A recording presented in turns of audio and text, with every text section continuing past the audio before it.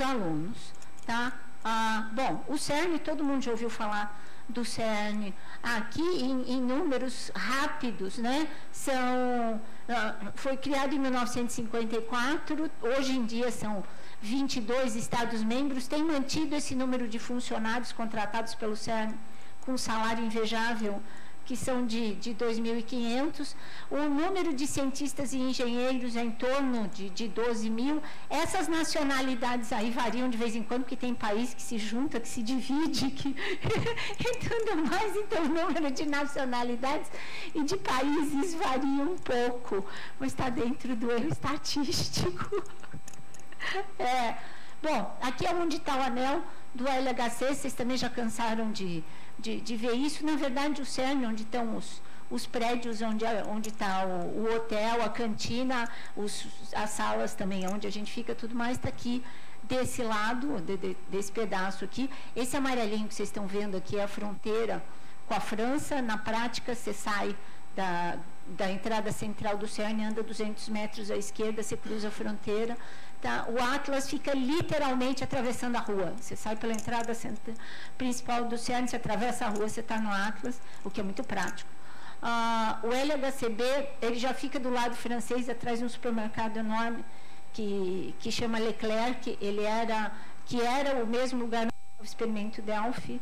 Hoje em dia o Delphi é um museu, então, na verdade, na, na frente você tem o, o Delphi, a parte central do Delphi, e, e aí você tem um, um, separado na parte de trás é que está instalado o LHCB, o Alice está no mesmo lugar onde estava o experimento L3 do LEP e o CMS que ocupou um outro buraco do túnel. Para quem não estava aqui na palestra ou não ouviu, o LHC foi construído no túnel aonde estava o LEP por questões várias, incluindo economia de, de verba.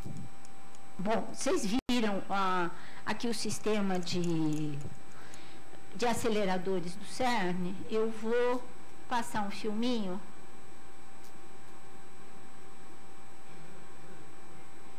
Como vocês viram, na verdade o LHC não é um acelerador, ele é um complexo de aceleradores. E, na verdade, esse complexo de aceleradores, é, ele vai usando o acelerador mais antigo que tinha no CERN, que vai sendo usado como pré-acelerador do pré-acelerador do pré-acelerador. Então, quando os, os prótons entram no LHC, eles já estão com uma energia de 450 GeV. O que, que acontece? Isso daí não está pichado no túnel, não, isso é só do desenho, mas eu sou uma das que é a favor de que fosse pichado. As bandeiras estão de verdade. Claro que isso é um desenho animado, a gente tem os, os prótons andando aí, é, colocados só com, com os três quarks lá dentro, um vindo de cada lado, né, e colidindo no centro do detetor. Esse é um detetor genérico. Vocês estão vendo que o detetor é um cilindro, na verdade são vários cilindros concêntricos, e a gente tem essa interação em partículas que saem para todos os lados. Importante a gente ter isso na, em mente, porque isso vai ser o ponto principal de tudo que a gente vai estudar e de tudo que a gente vai querer fazer. Bom, Parou? Acabou? Aí. Beleza. Voltando para minha apresentação. Ah, aqui. Ih, perdi o. Vai? Ah, aqui. Vai? Uh. Bom, enquanto eu falo. Por que um sistema de aceleradores? Porque com isso você economiza na hora de construir o acelerador mais novo. Além disso, você mantém tem todos os aceleradores mais antigos sempre em dia, com uma manutenção perfeita, com eletrônica melhor, com tudo isso daí. E além disso, você pode, com o mesmo sistema de aceleradores e praticamente com a mesma verba de manutenção, gerar feixes de partículas com energias que não são as energias do LHC. Então, o CERN também tem outras divisões, por exemplo, a parte que gera o feixe de neutrinos, que nem o Hélio já falou, tem a parte que vai fazer aquela desaceleração para fazer o antihidrogênio, para fazer toda essa parte. Tem esse setor. Ai, peraí. Tem esse setor aqui do Isolder, que é dedicado a, ao desenvolvimento de novos materiais também tem todo um pessoal de física de matéria condensada, de, de física dos materiais, trabalhando ali tem uma parte para física médica, desenvolvimento de detetores de física médica.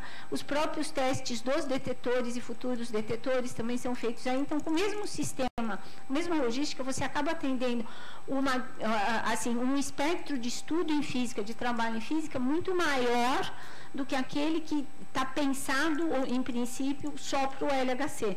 Claro que o LHC é, digamos assim, a parte principal, talvez a parte maior, do, do, trabalho científico do CERN, mas tem uma parte não LHC também, que é muito grande, que é muito importante em termos de contribuição científica de estudos científicos. Pulando. Bom, o que é o IPPOG? Na verdade, é uma, é uma rede de, de cientistas, mas também tem, tem professores, tem pessoas especializadas em comunicação, jornalistas ou uh, ou não, e a ideia é exatamente ter uma, é, é, é uma organização internacional voltada realmente para divulgação científica e desenvolvimento de várias técnicas, de levar essa. E especificamente o Masterclass, que é o que deu origem ao IPPOG, na verdade, coordenação mundial dele é da Uta Bilow, ela é alemã, ela é da, da Universidade de Dresden, e aos poucos foi se juntando Kenneth Cessayer, que na verdade é o coordenador dessa rede, a QuarkNet, a QuarkNet foi uma rede criada por físicos americanos na, no, com o intuito de melhorar o ensino de ciências nas escolas públicas dos Estados Unidos.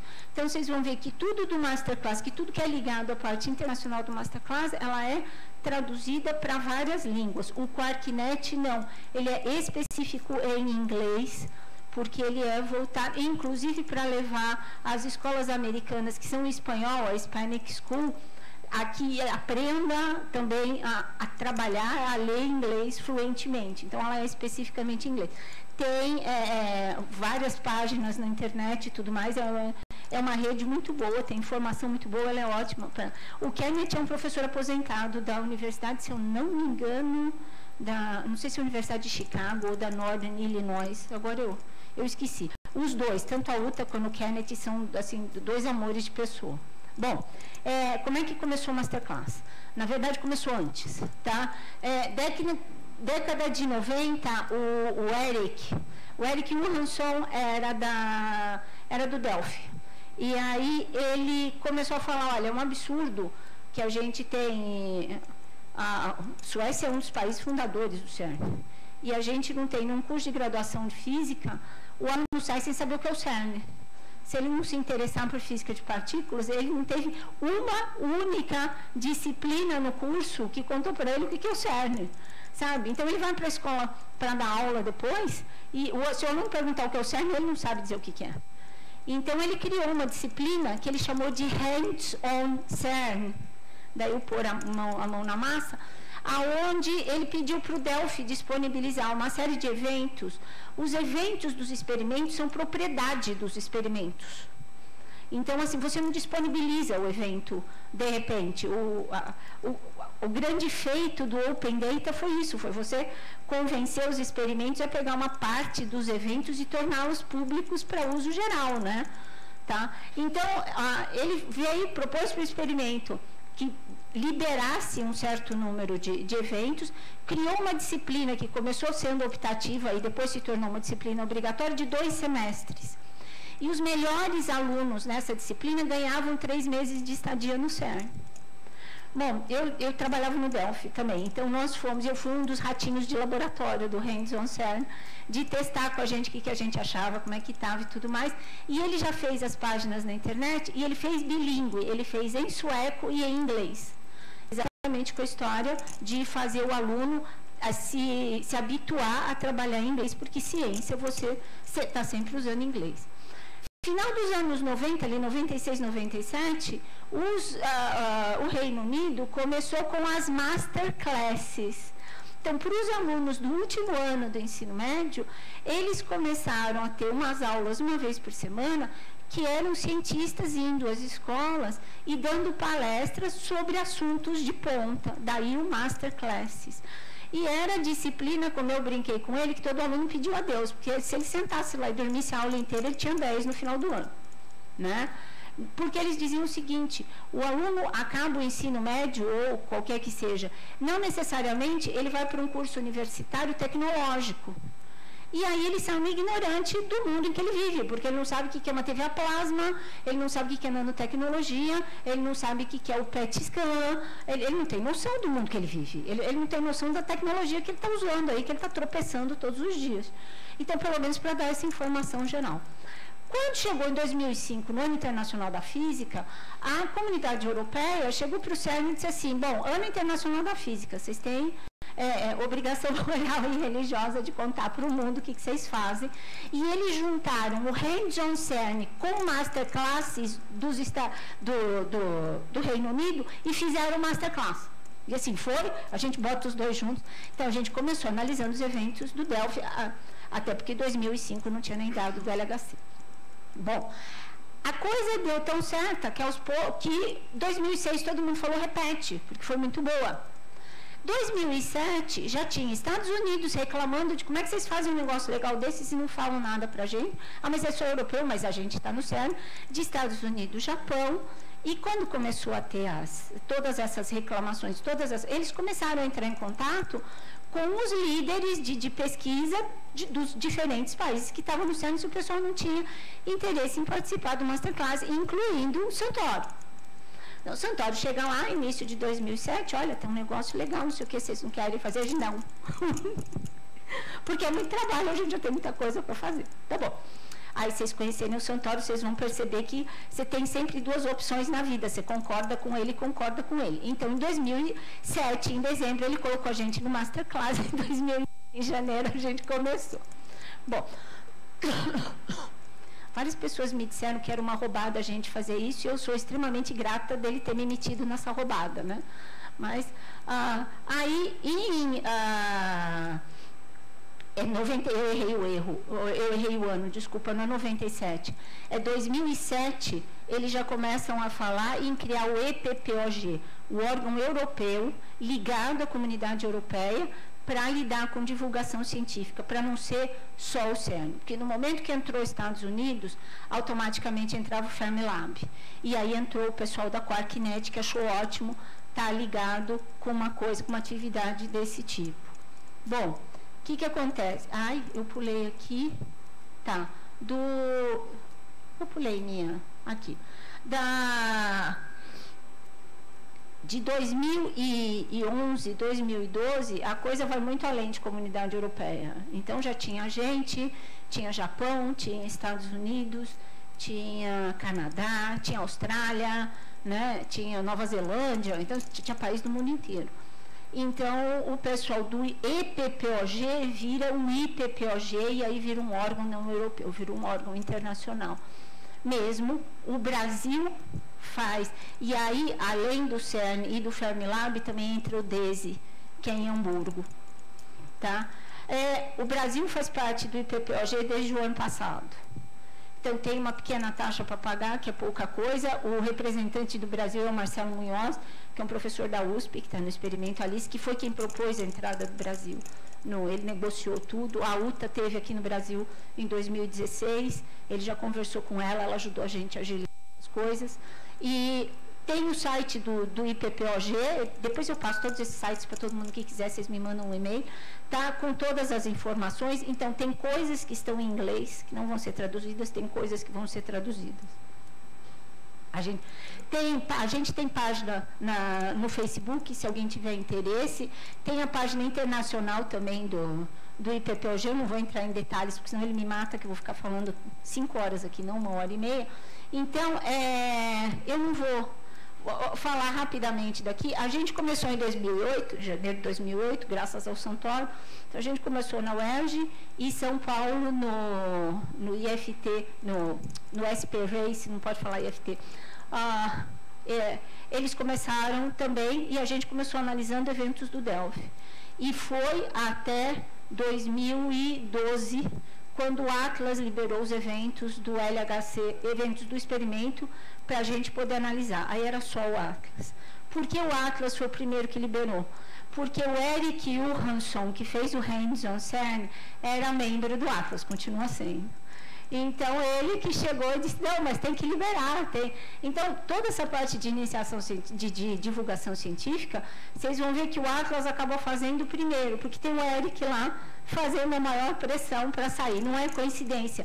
Ele realmente briga muito. Ele, hoje em dia já é aposentado, já é um senhor de quase 80 anos de idade, mas ele briga muito com isso, da, da importância da, da divulgação científica e de se levar isso tornar o mais público possível tudo isso que é feito lá dentro, até para deixar claro por que se investe lá e qual a importância de, de tudo. Isso não, assim, só quando aparecem grandes marcos, que nem foi a internet, mas quando no, no dia a dia mesmo, as pequenas coisas que vão surgindo e que são importantes para todo mundo. Bom, aos poucos isso foi crescendo. Em 2012, o pessoal de Lavras foi lá para o UERJ para ver como é que era o Masterclass. Em 2016 eles começaram a fazer em, em Lavras mesmo. É, aos poucos a gente foi unindo mais e mais pessoas. Em 2015 a gente fez a Lixep em, em, Manaus e fez um masterclass lá também, aonde a, a foi feita na Universidade do Estado do Amazonas, mas a Universidade Luterana até mandou um pessoal lá também para participar da, das atividades. Depois eu fui na universidade dar uma pequena palestra para o pessoal administrativo da, da, da, universidade. Aos poucos tem crescido, a gente tem Natal entrando nisso, a gente teve Fortaleza entrando desde 2016, também graças a contato do, do Santoro. Para a gente ter um pequeno mapa aí de onde a gente tem o, o Masterclass hoje em dia, é, a gente tem tentativas. É, normalmente a gente tem uma pessoa por estado uh, um ou dois físicos por estado de universidade desse estado, controlando, uh, organizando as coisas para sair o masterclass. Então, assim, São Paulo tem um jeito de organizar as coisas que é, eles acham melhor que os professores de ensino médio vão até lá, façam o masterclass uma ou duas vezes e depois organizem isso sozinhos no seu estado. O que eu tenho feito com Natal, com Fortaleza, com Lavras é o contrário. Eu vou e aí eu faço masterclass com eles, porque eu acho que aí eu atinjo mais pessoas do que a pessoa que não conhece nada sobre física de partículas, que vem e pega toda essa coisa. E é claro que toda essa organização, tudo isso, ela é feita ao longo do ano com a gente discutindo, ainda bem que tem internet, WhatsApp, tudo isso para a gente discutir e ver como é que organiza as palestras, como é que organiza uh, tudo isso daí. Então a gente tem assim, algumas tentativas, que nem Curitiba, que fez só dois anos, Uberaba, que fez um ano só, e tem, tem, tem uh, iniciativas aqui.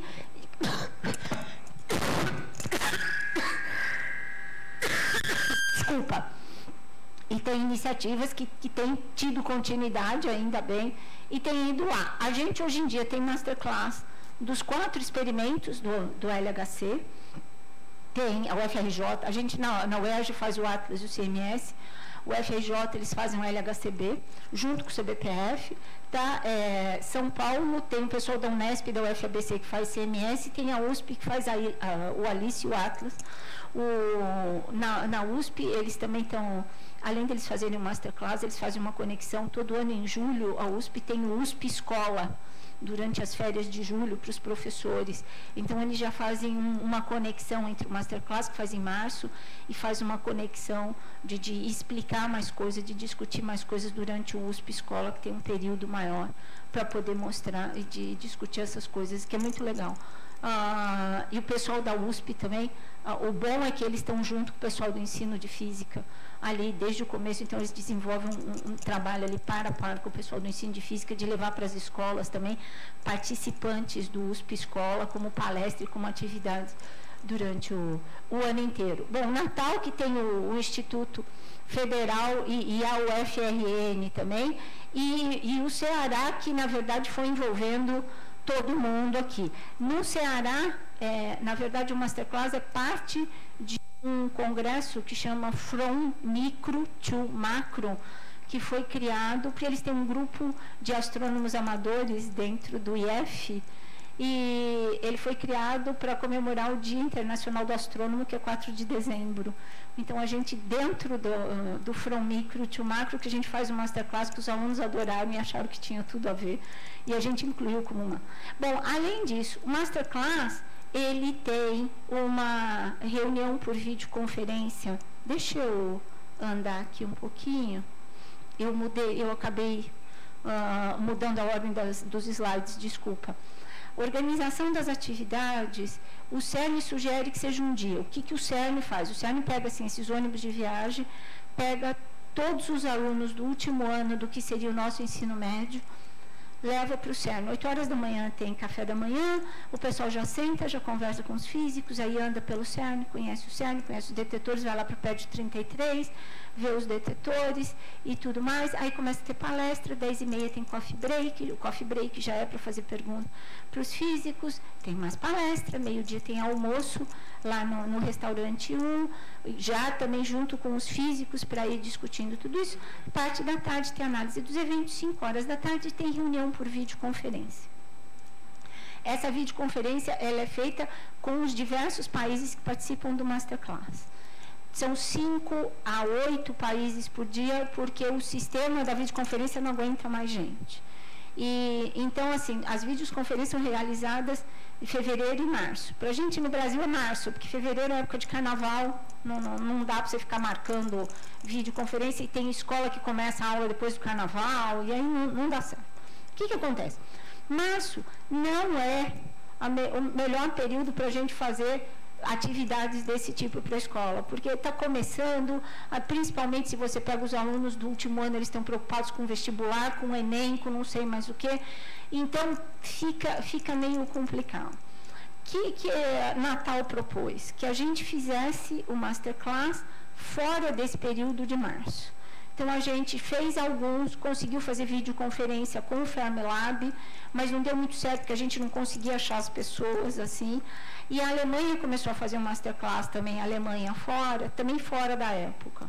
E aí a gente, em 2007, Natal propôs que se é, fizesse, porque o masterclass ele era a participação oficial exatamente nesse período da videoconferência que fosse oficializada, fosse oficial também a participação, sem a reunião por videoconferência, desde que tivesse um físico do experimento que estava sendo analisado, para ir lá discutir os resultados, para explicar tudo e discutir os resultados. Então, se tem um físico que vai lá e se responsabiliza, olha, eu sou do experimento tal, eu me responsabilizo por discutir os resultados, eles dão ok e a gente registra todos os dados, registra os resultados, então está lá nos arquivos do Fermilab e do, ou do, do CERN, e a participação está registrada dentro do IPPOG, dentro do CERN, dentro do, do.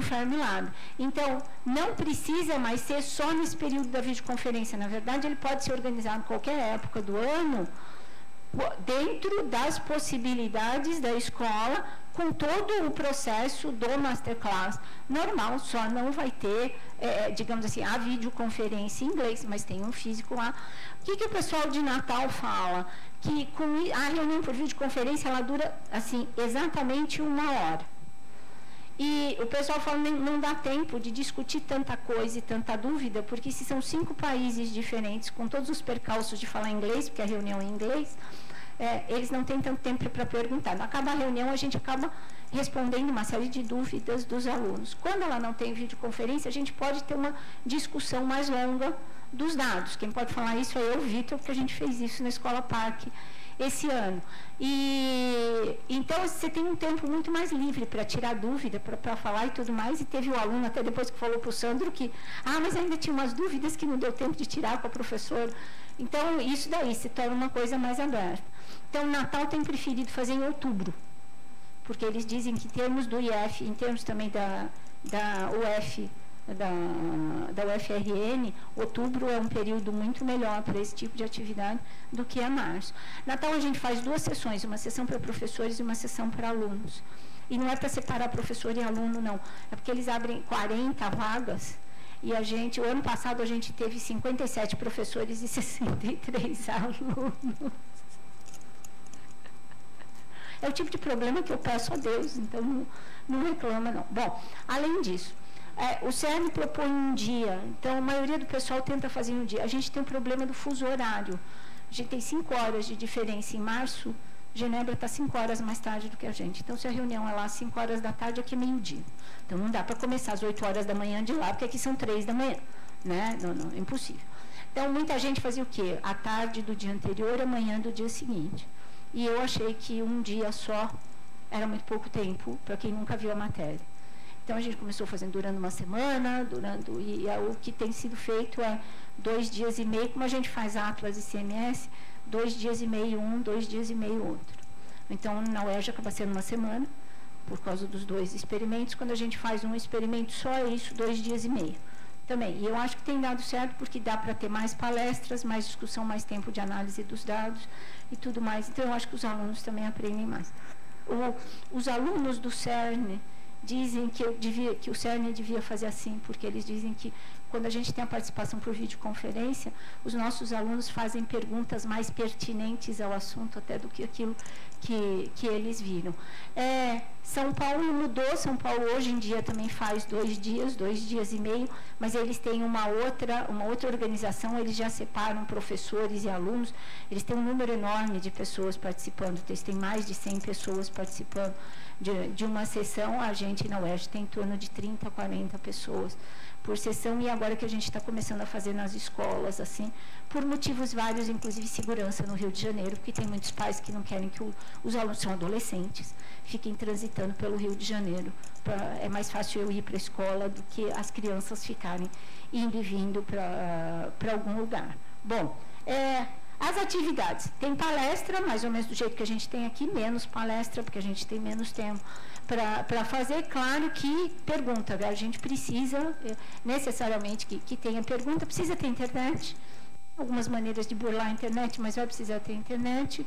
A gente explica os dados que tem, onde tem os dados e como é que vão ser analisados esses dados. Tá? É, como eu disse, Ponto alto é a reunião por videoconferência. Todo mundo acha, caramba, eu vou participar de uma reunião internacional com videoconferência. Então, a, a, a proposta indecorosa também é, faz uma masterclass em videoconferência quando dá para fazer, no, no, período que dá para fazer na sua escola. No ano seguinte, vem para videoconferência. A gente pode, a análise foi feita, o trabalho foi feito. Então, ele pode chegar lá e discutir os resultados dele durante a videoconferência. Então, também não precisa estar tá feito ali naquele naquele espaço. O importante é a participação e o interesse que a pessoa tem em, em fazer isso. Tá? Bom, internet, aqui tem os sites e principalmente não precisa saber inglês para fazer o masterclass. A gente traduziu os sites e tudo mais, a reunião é, é, é em inglês e é exatamente para deixar claro, olha, você não precisa saber inglês para fazer o masterclass, mas, cara, você precisa aprender inglês em dia, que ser inglês não dá, né? No fundo é isso. Então, não sabe inglês, participa e tudo mais, mas começa a correr atrás e, e aprender inglês, porque vai fazer falta na, na sua vida profissional. Vocês ouviram falar bastante de partículas aqui e tudo mais, o que, que a gente analisa no Masterclass? No, no, Atlas, a gente tem duas opções. A gente pode estudar Z0, Z0 e W são os bósons intermediários, as partículas que estão intermediando a interação fraca. O Z0 tem carga zero, o W tem carga positiva negativa. No Atlas são duas análises diferentes. Você procura eventos que tenham Z0 ou, ou você procura eventos que tenham W. No CMS, são os dois juntos. E claro que no meio dessa análise toda tem que ter um Higgs, né? Pelo amor de Deus. Não, não, não tinha como não ter. É, Atlas e CMS são os dois experimentos do LHC que a gente chama de experimento de propósito geral. Quer dizer, são aqueles experimentos que estudam absolutamente tudo de física que pode ser estudado dentro dessas energias que o LHC fornece. Então, tanto aquilo que foi planejado, que levou a construir o experimento, como qualquer coisa nova, ideia nova e tudo mais que possa surgir. Então, também, as análises no Masterclass vão ser muito parecidas, porque os experimentos também vão ser bem parecidos. O CMS tem a possibilidade de ter essa análise de JPSI. JPSI é a partícula que é descoberta dela mostrou que tinha um quark charme. Né? Então, é, eu acho que não dá para escrever aqui. O pessoal tinha feito a discussão de partículas que são também sua antipartícula. A JPSI é uma partícula formada por um quark charme e um quark anti-charme.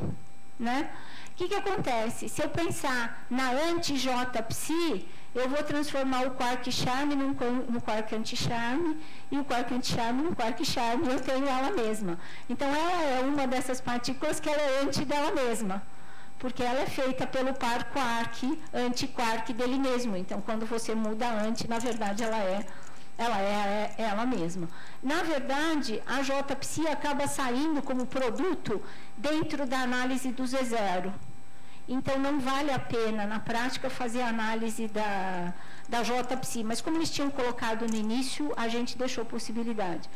O ALICE é um experimento que estuda colisões núcleo de chumbo com núcleo de chumbo.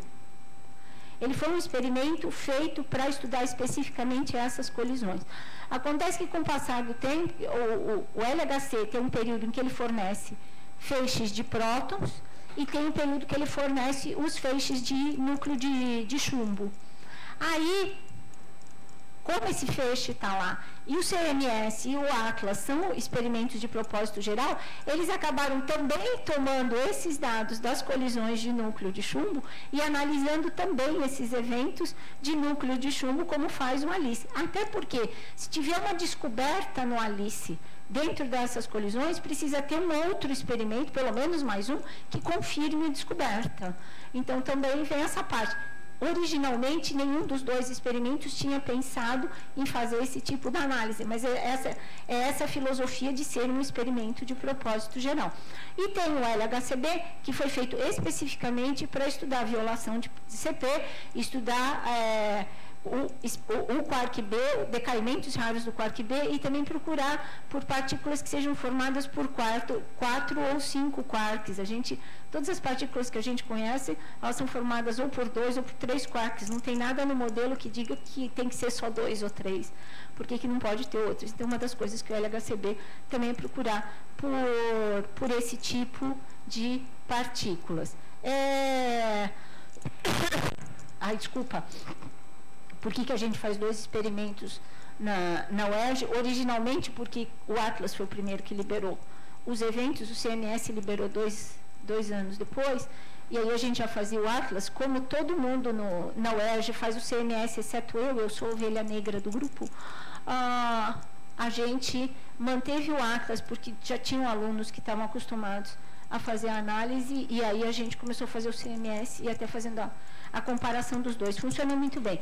Tem gente que participa só de um experimento ou só de outro experimento. A maioria do pessoal diz que vem só para um e acaba ficando para todos eles. É, eu já falei isso daqui. Falar um pouquinho do CMS. Todo mundo aqui já falou bastante do CMS. O CMS é o detetor mais pesado do LHC. Ele não é o maior, mas ele é o mais pesado, é o mais denso. Ele chama Compact Muon Solenoid, exatamente de ser compacto. Todo detetor de experimento de, de, de acelerador, eu, eu, tenho colisão, eu brinco com as pessoas, ele é uma cebola cilíndrica. Porque, na verdade, são vários cilindros concêntricos com detetores diferentes que vão explorar características que a gente conhece das diferentes partículas e de como é que elas interagem com diferentes materiais. Então, o CMS não é exceção a isso. Eu vou ter um detetor mais central, que é um cilindro, e o cilindro eles não são todos de mesmo comprimento, eles variam no raio e no comprimento. Então eu tenho cilindros de comprimento diferente, porque depois eu tenho duas tampas que normalmente se encaixam quase como um cone, que não vai ser bem o, o CMS, na verdade, eles são vários anéis que foram sendo montados uns com, com os outros, tá? Para vocês terem ideia de como o, o bicho é pequenininho, 15 metros de altura, 14 mil toneladas, né? É, comprimento 29 metros. Eu, eu, acho que uma das coisas sensacionais é aqui mais de 100 milhões de canais de eletrônica. Né? Tudo funcionando e tudo muito bem colocado. Então, a gente começa como? A gente tem ali os tubos onde vem o feixe, colide, e aí a gente tem o detetor de traços, o detetor de vértice, que na verdade são pixels de silício, de 3 milímetros quadrados de rádio. Então, são vários e vários pixels, camadas e mais camadas, né? uma sobreposta à outra. Então, a partícula que tem carga elétrica, ela vai passar por esse silício, ela ioniza, ela arranca elétrons, e ela vai, ah, esses elétrons, como eu tenho esse meu pixel, na verdade, ele é um chip, né? Então, ele vai me deixar um sinal eletrônico, esse elétron vai ser sugado, tem uma diferença de potencial ali, ele vai ser sugado, vai ser é, multiplicado, e eu vou ter, ah, eu amo você, muito obrigada. Ah, e vai, eu vou ter o meu, o meu sinal eletrônico, que vai ser digitalizado e vai ser registrado no meu computador. Se eu tenho essas partículas passando por esses pixels, e daí a importância de serem pixels, de serem pequenos, eu consigo reconstruir a trajetória dela. Porque é o equivalente a eu ter uma pessoa andando na areia, né? ela vai deixar pegadas, essa minha partícula carregada vai deixar pegadas nesse detetor. Então, eu vou conseguir é, reconstruir toda essa trajetória que a gente vai, uh, vai fazer da partícula carregada. Tem que ser carregada, porque se ela não tiver carga elétrica, ela não ioniza. Tá? Uh, cada pixel desse tem seu canal de eletrônica para tirar esse, esse dado dali. Bom, passou da, do detetor de traços. Tem o calorímetro eletromagnético, que eu acho que é o detetor mais bonito do mundo, né? Porque ele, ele é feito de cristais de tungstato de chumbo. Então eu tenho um. É, esses cristais são montados, aqui para dar uma ideia, eles são montados, todas essas torres desses, desses cristais, a partícula vai passar lá. Se eu tenho elétron ou fóton passando pelo chumbo, o elétron, quando ele, ele entra no chumbo, ele emite fótons característica interação dele com o chumbo. Esses fótons dentro do chumbo, como eles têm uma energia muito alta, eles se transformam num par elétron e pósitron, partícula e antipartícula, energias transformando em matéria. Bom, esse pósitron é antimatéria, então o primeiro elétron que ele vê na frente, ele vai bater e vai virar um fóton. Mas ele é um fóton que está dentro do chumbo, que então vai decair e não está. O outro elétron é um elétron dentro do chumbo, que também tem bastante energia, que então vai emitir um fóton, e aí, com isso eu crio uma reação em cadeia, eu crio um chuveiro, que a gente chama de chuveiro eletromagnético. Bom, o elétron faz isso e o fóton também. O fóton produzido lá na colisão, eu tenho fótons de altíssima energia. Como é que eu vou distinguir um e outro? O elétron tem carga elétrica, o fóton não tem. Então, os dois vão deixar o mesmo sinal no calorímetro eletromagnético, mas o elétron vai ter o sinal lá nos pixels de silício, lá no detetor de traços, e o fóton não vai ter. E eu vou usar isso para diferenciar um e o outro. Então, eu vou combinando informações. Então, são detetores diferentes que vão usar as diferentes características da interação das partículas produzidas da interação com o material que ele tem lá, e eu vou começar a usar isso para analisar os meus eventos. Bom, depois do calorímetro eletromagnético, vem o calorímetro hadrônico. O calorímetro hadrônico, ele é basicamente aço, ferro, sanduichado, em várias camadas, com cintilador. Cintilador é um material que, quando uma partícula carregada passa por ele, ela produz luz. Então, no final dele, você coloca um detetor, uma fotomultiplicadora, que é capaz de detectar luz. Como é que ela detecta isso? Eu tenho fóton que bate numa placa, normalmente de cobre, que tem um formato assim, curvo, que a gente chama de dinodo. É, é, esse fóton bate lá, arranca um ou dois elétrons, arranca alguns elétrons que são acelerados para o outro dinodo aqui. Então, como ele foi acelerado, ele bate no cobre, ele arranca mais elétrons, e eu vou fazendo essa reação em cadeia. Quando chega lá em cima, eu tenho uma corrente elétrica mensurável. E essa corrente, o valor dessa corrente é proporcional ao número de fótons que bateram lá no início. Então, eu consigo medir a intensidade da luz, eu consigo medir o número de fótons criados no cintilador, que é proporcional à energia da partícula que eu tenho e ao número de partículas que cruzaram. O que, que acontece? Eu tenho, porque o calorímetro hadrônico, então os hadrons vão passar ali pelo chumbo, tem até alguns hadrons que interagem no chumbo. Quando eles chegam ali no ferro, eles vão interagir com o núcleo do ferro. Nessa interação, claro que eu arrebento com o núcleo e produzo várias partículas. Então, se eu tenho um hadron carregado, de novo, ele deixou um sinal lá na câmara de traços. Se eu tenho um nêutron, um neutro, por exemplo, um nêutron, que é um negócio complicado de detectar porque ele não tem carga elétrica, ele vai deixar o mesmo tipo de sinal no calorímetro hadrônico, mas não vai ter o traço carregado. Como é que eu vou então detectar esse bendito uh, hadron neutro? Ele vai interagir. Quando ele interage, ele produz partículas neutras e partículas carregadas. As carregadas vão produzir luz, mas vão continuar, são várias e várias e várias camadas. As neutras não vão produzir luz, mas elas vão continuar ali e vão continuar interagindo. E por aí vai. Então eu tenho um chuveiro hadrônico. Bom, partícula não sabe se ela está passando pela câmara de traços, pelo, uh, pelo calorímetro eletromagnético ou pelo hadrônico. E se ele interagir no calorímetro eletromagnético? Ele está na frente. Tá? Mas eu tenho o formato do chuveiro. O chuveiro eletromagnético, ele é, ah, cheguei, assim, ele é aberto, sabe? Ele vai, interage, ele é um chuveiro assim mais aberto. O chuveiro hadrônico é mais estreitinho. Então, ele tem formatos diferentes. Então, é importantíssimo a gente ter vários canais, ter vários segmentos, como se fossem, na verdade, vários e vários detetores todos juntos. E tem um software super sofisticado para fazer essa reconstrução de energia e de posição de onde está o chuveiro e do que, que aconteceu ali. Bom, e por fim, claro, eu quero determinar o momento dessas partículas carregadas que eu produzi.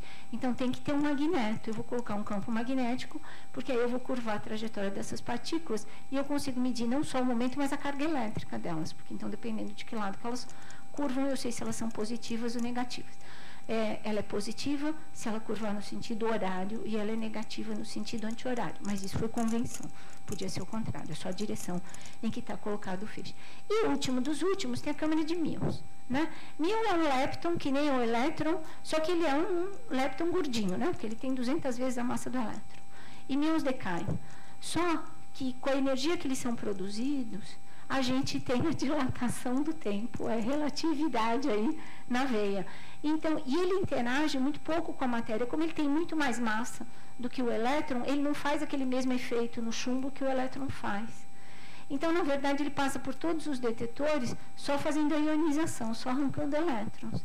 Então, ele consegue passar por todo o silício, por todo o chumbo, por todo o ferro, vai que vai. Então, como a câmara de míons é o último detetor que está aqui, a única coisa que chega lá é míon, daí o nome.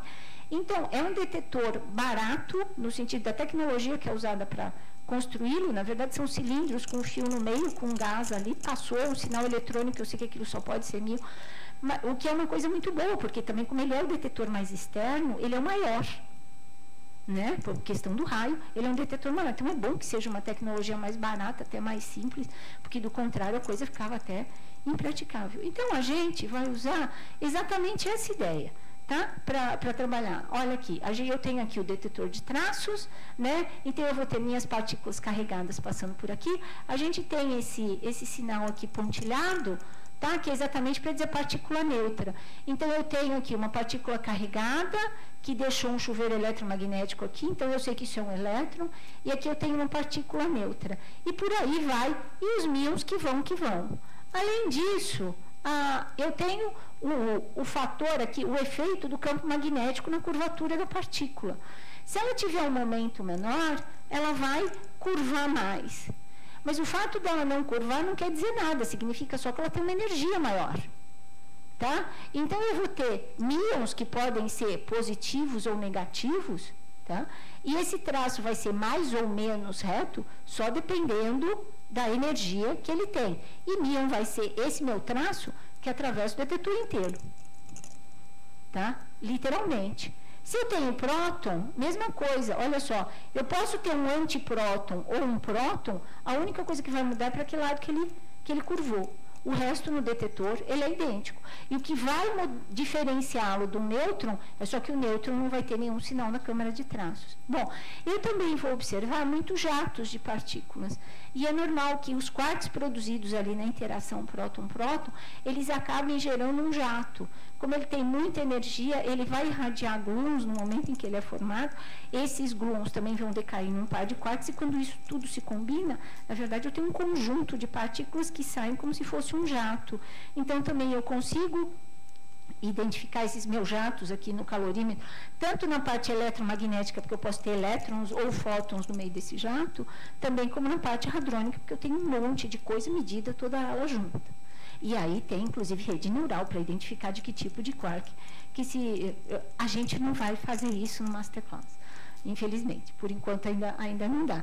E idem o elétron aqui. O elétron, fóton, mesma coisa. Se é um elétron um pósitron, a única coisa que muda é o lado, porque ele curva por causa do calorímetro eletromagnético. Bom, vocês já pensaram de ver essa tabela, né?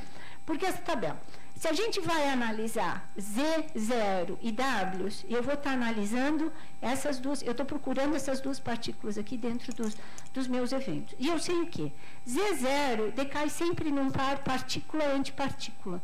Então, ele vai decair num par elétron-positron, mion mais, mion menos, pode ser um quark U e um quark U barra, e por aí vai.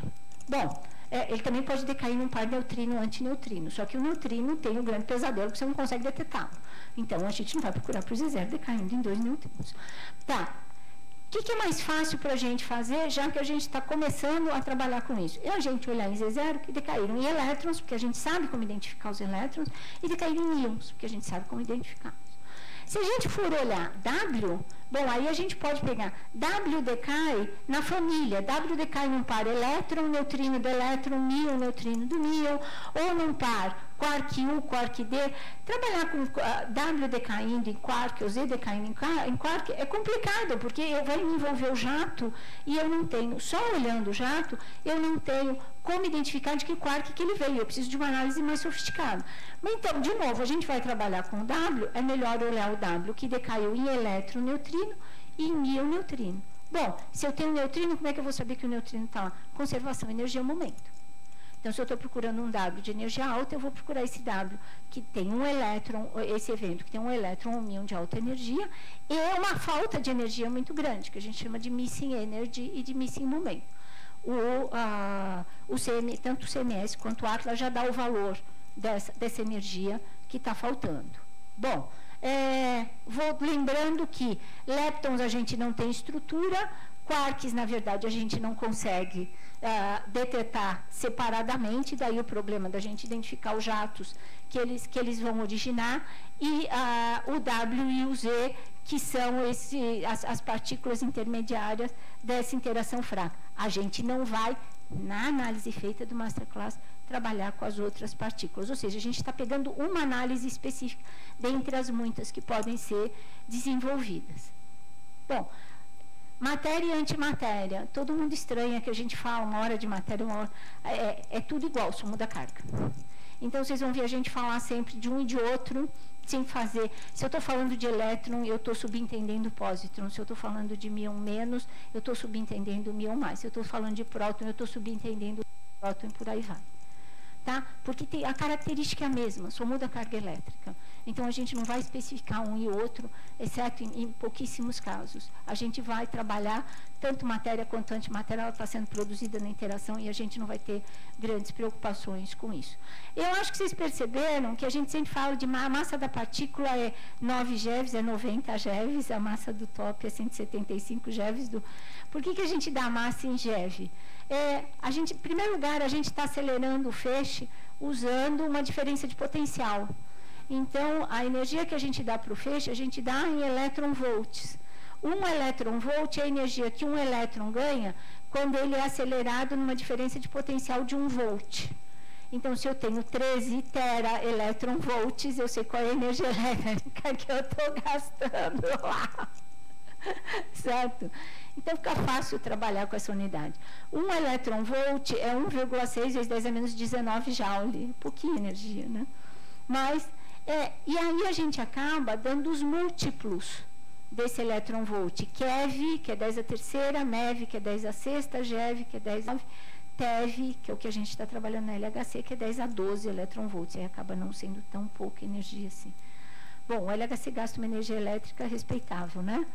O que, que acontece? Essa energia elétrica ela é gerada nas usinas atômicas na França e, na verdade, ela é a energia que a França usa para aquecer as casas no inverno. Todo o aquecimento na França toda em Genebra, ele é através de energia elétrica e essa energia elétrica é gerada pela França. Então, na verdade, essa energia não é usada durante o período de não inverno. Então, o LHC funciona até dia 30 de novembro que é quando ele para, que é para essa energia então ser voltada para o aquecimento das casas. Então gasta uma energia, mas não é uma energia que é produzida a mais, essa energia já está lá, ninguém desliga né, a usina atômica para fazer uma coisa assim. Bom, a gente falou das, das forças fundamentais, Claro que a gente a está trabalhando com uh, partículas, a gente, claro, a gente vai falar de força eletromagnética, se eu tenho carga elétrica nas partículas, não tem como fugir delas. A força forte que vai unir os quarks dentro das partículas, unir o próprio núcleo atômico que a gente tem, a força fraca que vai ser exatamente é, responsável pelos decaimentos radioativos e principalmente que é o que a gente vai estar tá olhando mais, porque a gente vai estar tá procurando por Z zeros e Ws dentro do que a gente está estudando. A gente não vai olhar a força gravitacional. E aí eu sempre faço uma brincadeira com o pessoal, que é assim, a, todo mundo que for falar de, de, teoria, de qualquer coisa de física de partículas, vai falar, não, a gente não leva em consideração a força gravitacional, porque as partículas têm uma massa muito pequena. Então, a interação gravitacional entre elas, ou mesmo delas com a Terra, é desprezível em relação à intensidade das outras forças. E eu digo para o pessoal assim, bom, isso é verdade que você está olhando só a teoria. Quando você está fazendo o experimento, vocês viram que o experimento tem um tamanho, assim, 14 mil toneladas aí de tamanho. O experimento ele não é um cilindro. Na verdade, o experimento é um Lego cada detetor, o calorímetro eletromagnético, o calorímetro hadrônico, o detetor de traços, na verdade são vários módulos que você tem toda uma estrutura de aço inoxidável e nela então tem uma engenharia civil respeitável. Não é só físico que trabalha no experimento de altas física de altas energias, tem cientista da computação, tem engenheiros de várias engenharias e claro que tem físico também. Mas a ah, você monta tudo isso, então você tem esses, de, esses detetores, esses módulos, esses módulos são calibrados, são testados antes, onde? Naquelas áreas que a gente tem de aceleradores que fornecem energias diferentes para a gente poder trabalhar dentro do próprio CERN. Né? É, tudo isso vai ser montado, vai ser feito até construir o detetor como um todo. O que, que eu falo para o pessoal? Gente, olha só, quando um desses módulos, por acaso, que custou alguns milhões de dólares, euro, lá sei com a moeda que você quiser, cai no chão e quebra, você se dá conta que a força gravitacional é extremamente importante no estudo da física de partículas. Então, não é verdade que a gente não considera a força gravitacional quando a gente está trabalhando com o experimento. Tem que considerar tudo. O ruído eletrônico, a posição da lua. Tem tudo. E aí, é claro, 2012, o Atlas do CMS é, anunciando o Higgs.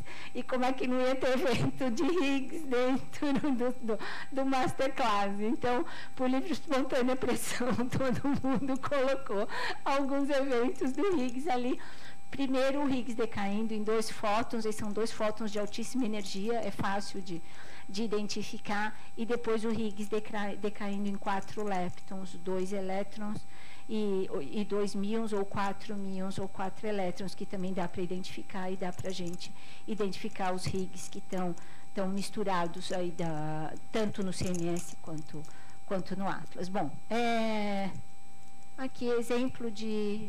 Ah, eu vou pular isso daqui e ao invés de eu mostrar slide para vocês, deixa eu ver se a gente consegue pegar pela internet, que eu acho que fica mais bonitinho. Aqui, aqui. Aham, olha só.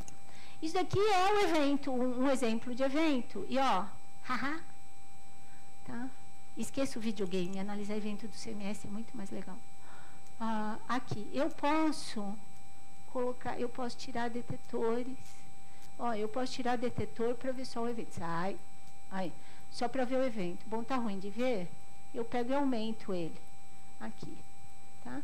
Eu posso pegar e girá-lo para ver tridimensionalmente qual é a cara desse evento. Então, eu tenho em amarelo, estão os meus traços carregados, que eu vi aqui. Em verde eu tenho chuveiros em um dos calorímetros, em azul no outro calorímetro. A gente vai, já vai descobrir quem é quem. Eu posso colocar também projeções diferentes aqui para ver a cara do evento. Tá certo? Bom, eu posso colocar aqui ou deixa eu colocar aqui, talvez assim. Deixa eu ver aqui calorímetro eletromagnético. A gente divide o, o detetor normalmente em duas regiões região do barril ali, que é aquela região mais central do cilindro, e a região das tampas do cilindro, né, que a gente chama de região forward. Tá? Então a gente vai, quando vai chamar o, o detetor, às vezes chama de handicap também, que na verdade é o. O que, que acontece? É, eu quero saber de onde é que saiu esse chuveiro verde aqui, ó. Esse daqui. Então deixa eu virar ele. Opa, vira aqui, vira aqui, bonitinho. Ó, tá vendo que ele está saindo daqui? Olha, os outros estão muito mais distantes. Se ele está saindo daqui e eu acionei exatamente o calorímetro eletromagnético, significa que verde são os meus chuveiros eletromagnéticos. O tamanho dele é proporcional à quantidade de energia que foi depositada ali. Então a gente já começa, deixa eu tirar o detetor daqui, olha só, eu começo a ter um belo candidato a elétron aqui.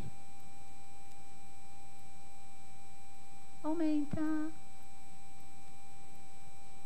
Olha aqui, uma deposição de energia grande no calorímetro eletromagnético e um traço carregado. Aham. Mas só tem um, né? Então, vamos lá. Aqui, olha aqui, quantidade de energia que está faltando e a direção diminui de novo. Aqui, não, não gira, eu quero que você diminua. Aqui, o tamanho do pontilhado tem a ver com a quantidade de energia que está faltando no evento para a gente é, respeitar a conservação de energia. O, a direção onde está o pontilhado é a direção aonde essa quantidade de movimento está faltando. Então, olha só, eu tenho aqui um elétron, bem claro, eu tenho aqui bastante energia faltando, esse daqui é um bom candidato a W. Então, a gente vai fazer essa análise visual evento por evento. Tem 2 mil eventos para analisar, no mínimo, para quando, quando se começa a participar. É, normalmente a gente pede que cada grupo analise pelo menos 50. De vez em quando você pega um pessoal, como dizem os alunos lá na UERJ Ninja, que analisa uns 2 mil e você precisa de mais evento. Mas aí é por causa desses alunos que me analisam 2 mil, 4 mil eventos que o pessoal começou a fazer o Open Data. Porque pega esse pessoal e, e, e bota aí para fazer, para analisar mais evento com computação, porque o pessoal se apaixona, se apaixona mesmo. Tá? Bom, eu quero vir. Ai, não faça isso comigo. Aqui, próximo evento. Próximo evento. Deixa eu diminuir ele um pouquinho de tamanho. Ai, não. Aqui, muda de posição. Diminui um pouco de tamanho. Por que, que ele some? Uh. Bom, obviamente tem algum problema aqui, né? Ah, consegui. Tá? Se eu olhar aqui, de novo, tá vendo que eu tenho um... Aqui, ai. De vez em quando a gente leva umas surras do software, tá? Eu tenho uma quantidade grande aqui também. Olha, aqui tem cara de ser um outro elétron. Os chuveiros azuis, então, vão ser as deposições de energia no calorímetro hadrônico. E por aí vai. Olha, eu tenho aqui, eu tenho aqui um elétron, aqui outro elétron. Então, eu tenho um bom candidato a Z0. Preciso olhar um pouquinho com um pouquinho mais de cuidado para ver se é um elétron mesmo, se às vezes não está um próximo do outro. Mas eu não vou começar a fazer, porque senão ele me mata. Ele vai dizer que eu não acabo a apresentação aqui de jeito nenhum. Tá? Então, a ideia é essa, é trabalhar com isso. Dá para pegar os eventos na internet, dá para analisar em casa, tá? dá para tirar dúvida também pessoal. Então, vai dentro do tempo de cada um. Como eu disse, esqueça o videogame.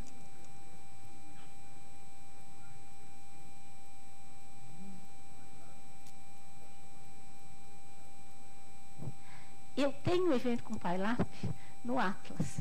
Eu não tenho no CMS porque o CMS tira o PyLab para o Masterclass. O CMS tira o PyLab para o Masterclass. O Atlas deixa. Qual é o caminho das pedras aqui? Se eu, eu, eu entro IPPOG Masterclass. Aqui é o primeiro link que não seja publicidade, física, Aí ele abre para todos os experimentos. Eu abri o do CMS lá. Vocês veem que tem várias línguas, né? Tá? É, eu traduzi tanto do CMS quanto do, do, português de Portugal, o do Atlas, e a gente decidiu o seguinte, que a gente fala um português. Então não tem essa de ter português brasileiro e português de Portugal. Então a gente decidiu que o Atlas está no português de Portugal e o CMS está no português brasileiro. Então, tem ah, no, no, no, site do Atlas é protão, eletrão e tudo mais. Teve uma sensacional que eu, eu traduzi, mandei para o Pedro Abreu, e ele falou assim que então ele estava traduzindo para português. O corretor, ele botou no Windows. O corretor do Windows dele, quando ele falou de interação protão, protão, corrigiu e colocou interação portão, portão. E eu passei acho que dois anos zoando com a cara dele que se ele falasse português direito, essas coisas não aconteceriam.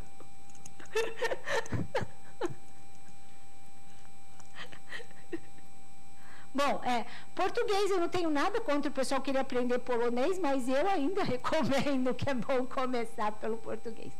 Tá? Pegar aqui caminho do Z, deixa eu ver se eu consigo abrir as. Ah, peraí, acho que eu, eu, eu tenho dados aqui já do. Volta aqui. É, um, dois, três. Aqui, aqui. Já tá. Vai, abrir.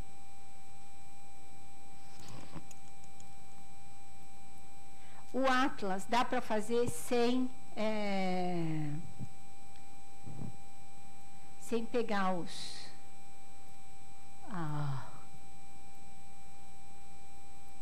aqui. File. Read event locally. Grupo D, talvez grupo D abra. Vamos ver.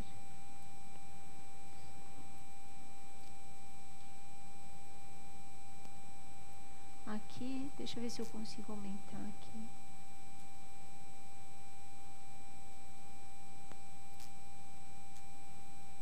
Pouquinho.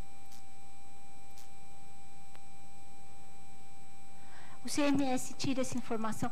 O Atlas não gira. O CMS é bonitinho. Você consegue girar o evento em 3D. É, o CMS dá um show na parte visual. Assim, tudo, tudo, tudo do CMS em termos visuais é muito mais bonito. Não, não sei quem planejou, quem, quem desenhou, tudo. O CMS tem uma preocupação com a parte visual, a parte da representação muito grande. O Atlas não, o Atlas, o, o Ipatia, que é o software que a gente usa, o Atlas fez um software específico para o Masterclass. O Ipatia, no Atlas não, o Ipatia é um software de dentro do experimento. Então ele passa muito mais dados sobre as partículas e sobre tudo mais do que o CMS passa. Por que, que o CMS tirou isso? Para poder permitir que a gente gire, que a gente faça tudo isso na internet.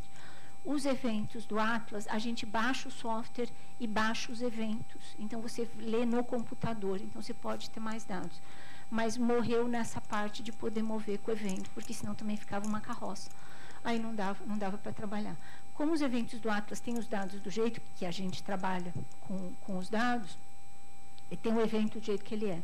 Então, se vocês olharem aqui, eu aumentei. O, isso daqui eu tenho duas visões. Uma que é o evento visto de lado do cilindro e outro visto pela tampa do cilindro. Então, eu aumento, e essa daqui é a região da interação próton-antipróton. A gente tem, o LHC, a gente tem pacotinhos de prótons, que chama bunches, de 10 a 11 prótons que colidem com 10 a 11 prótons que claro que para ele 10 a 11 prótons eles estão uma distância horrorosamente distante para eles, mas para é aquele feixe supercolimado. Quando eles passam, a janela de colisão é 25 nanosegundos. Nesses 25 nanosegundos que eles estão cruzando um com o outro, claro que eu tenho mais de um próton interagindo com o outro. Não tem como. Então isso a gente chama de pile-up, empilhamento, que é exatamente isso que a gente vê aqui. Vocês veem, cada círculo desses é o vértice de uma interação entre dois prótons. Então, vocês veem aqui, eu diminui um pouco, que é para conseguir ver tudo. Então, olha só, uma, duas, três, quatro, cinco, seis, sete, oito, nove, dez, e por aí vai. A gente tem, tem 40, 44 interações. Né? Então, tem um software danado para decidir qual interação que você vai usar. Isso tudo está sendo registrado pelo detetor, então também o teu software de reconstrução de energia, de reconstrução de partículas, tudo isso, tem que saber detectar quem é quem e vai detectar pelo tempo, pela janela de tempo. Quando você reconstrói energia nos calorímetros, não é pela janela de tempo, você tem que fazer um software que você faz a, a reconstrução de energia, levando em consideração que você tem o sinal do, do PyLab. Então, no Atlas, a gente está fazendo um, um software que usa rede neural e técnicas de convolução de, das curvas do sinal esperado para tentar ter uma determinação melhor da energia no calorímetro hadrônico daquilo que, que é feito hoje em dia. Essa, essa nova tentativa que a gente faz, foi iniciativa do pessoal do, da COP com rede neural e com tudo mais, é o que a gente está tentando fazer e ver se consegue aprovar no ato. Mas, mas a, o, o, problema do PyLab é esse, você tem várias e várias e várias interações. Então, quando você faz a análise, uma das coisas também que precisa olhar, você tem dois elétrons, se esses dois elétrons vieram da mesma interação. Ai, não faça isso comigo. Ah, se eles vieram realmente da, da mesma interação ou não, porque às vezes eu tenho dois elétrons, mas um veio de uma interação e outro veio de outra. Ah, eu tenho dois fótons para o Higgs. Aí fica muito difícil saber de que interação que eles vieram. Aí eu vou dizer que isso é um, um isso pode ser um Higgs ou não. Tá? Bom, vamos lá. Essa mocinha mata querendo acabar com a minha apresentação. Ah, chefe, que maldade, chefe. Que maldade, tadinha de mim. Vamos lá, vamos lá, vamos lá, vamos lá. Ah, então, eu tenho coisa para falar aí durante duas horas. Vamos lá. Eu disse para o diretor da CAPES que o meu grande problema é que eu sei relatividade teoricamente. Na prática, eu ainda não sei aplicar, porque eu não consigo fazer dilatação do tempo. Eu sempre. Vai, vai, muda. Bom, é, a ideia do, do, Masterclass é essa. Por que, que a gente acha. Vai? vai. E onde é que a gente acha que a, que a, importância do Masterclass? Claro, fazer divulgação científica de física de, de altas energias, pela qual todos nós somos perdidamente apaixonados.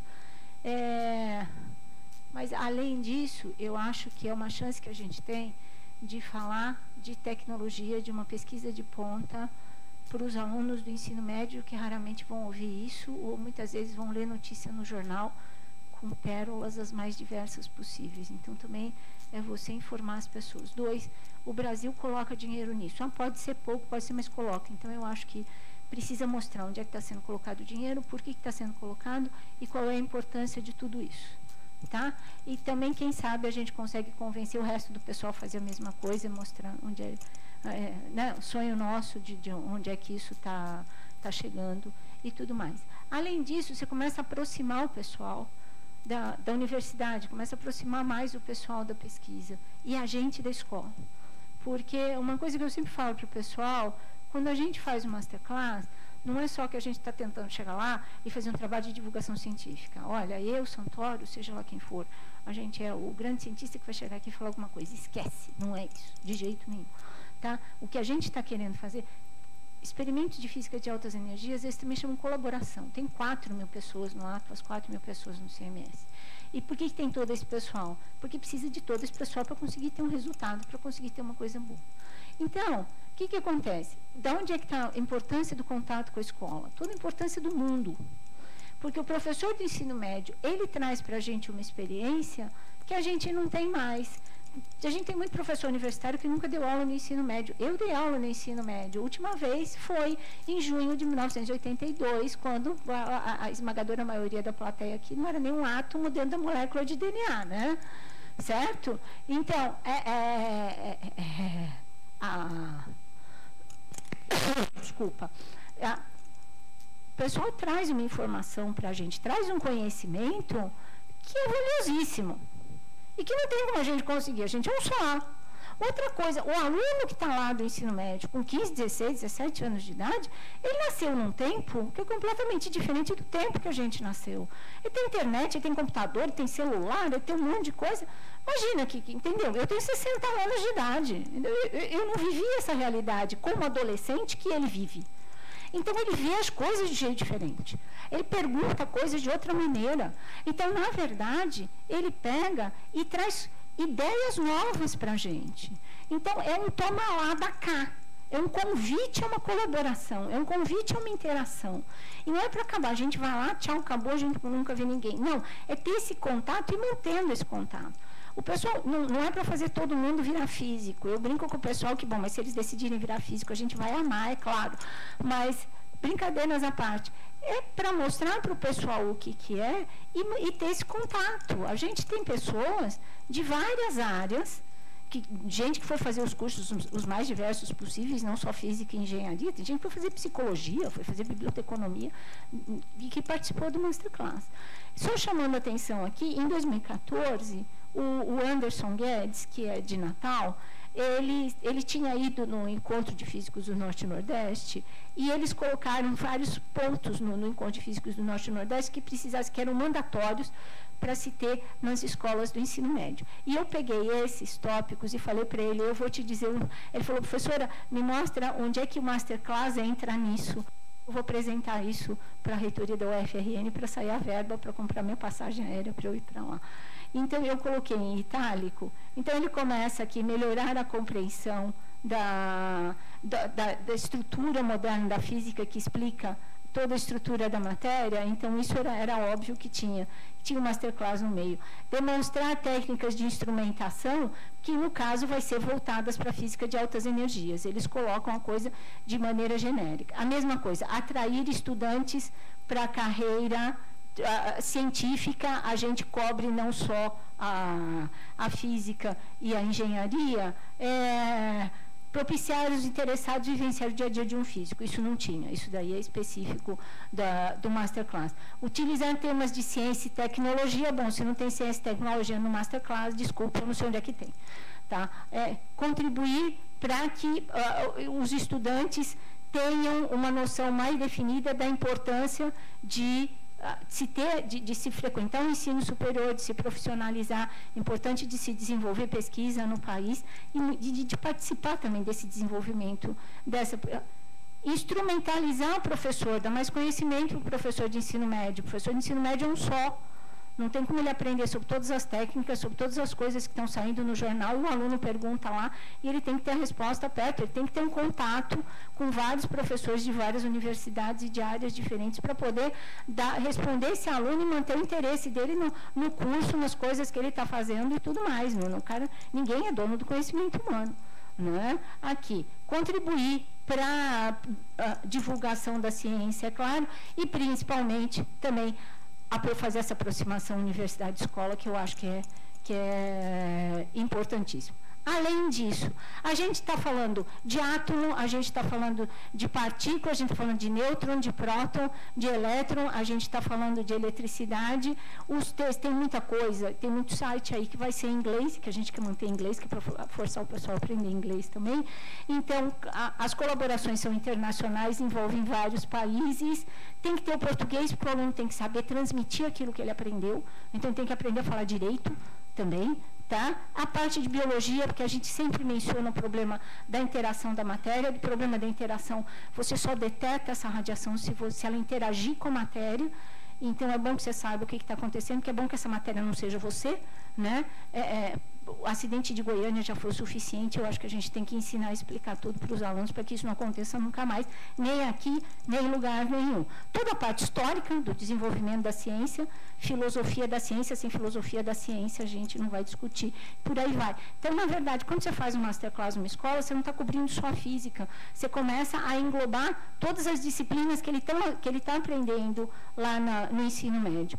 Isso daqui é uma coisa que eu não vou discutir agora, mas que eu acho que sempre tem que ser que é a gente não tem tecnologia, industrialização, nada, nada disso, consequentemente, desenvolvimento, criação de empregos e tudo mais. Se a gente não tiver educação para fomentar tudo isso, e se a gente não tiver essa alimentação da parte de pesquisa e da parte de transferência e desenvolvimento da tecnologia. Então, não dá para dizer que eu vou investir só na, no ensino fundamental e esquecer o resto, porque não vai dar certo. Se a gente não tiver essa cadeia toda muito bem investida e muito bem alimentada, criada e cuidada, não, a, o país não vai desenvolver e a gente não, não vai sair do buraco em que está, né? vamos falar a verdade. Não vou entrar nisso daqui, só quero entrar numa coisa. Bom, a gente não fala de ensino sem falar de Paulo Freire. Né? E quando a gente estava falando da do Masterclass, a gente começou em 2008, sem entender direito o que, que era. Em fevereiro de 2009, eu conversei com o pessoal que pôs os Masterclasses na Inglaterra, lá na década de 90. E aí eu cheguei para eles e falei, bom, vocês começaram ali em 96, 97, em 2000, e aplica um operador relativístico e dilata o tempo. fazer pergunta, sim. Tá bom. Não, deixa eu só terminar isso daqui e eu já encerro. Sim, tá. E aí, é, eu perguntei para o pessoal, de, dos alunos que fizeram esses, esses masterclasses na escola, quem que achava que a parte de física de partículas foi mais importante para o trabalho profissional dele, no dia a dia. Dez anos depois, eles já tinham essa ideia. E aí ele falou para mim, você não vai adivinhar quem é. Eu falei, bom, físico? Não, engenheiro? Não, longe disso. Eu dei um chutei uns três ou quatro, ele falou, artista plástico. Artista plástico? É, artista plástico. E aqui tem o, o, Luciano Corbella, que apesar do nome italiano, ele mora em Londres, e a Julie Anderson, que me deram os dois quadros, isso tem copyright, isso estava à venda na época. Eles falaram, não, você vai apresentar para ensino. Então, é, o que, que eles falaram? Eles falaram assim, olha só, abriu a mente da gente.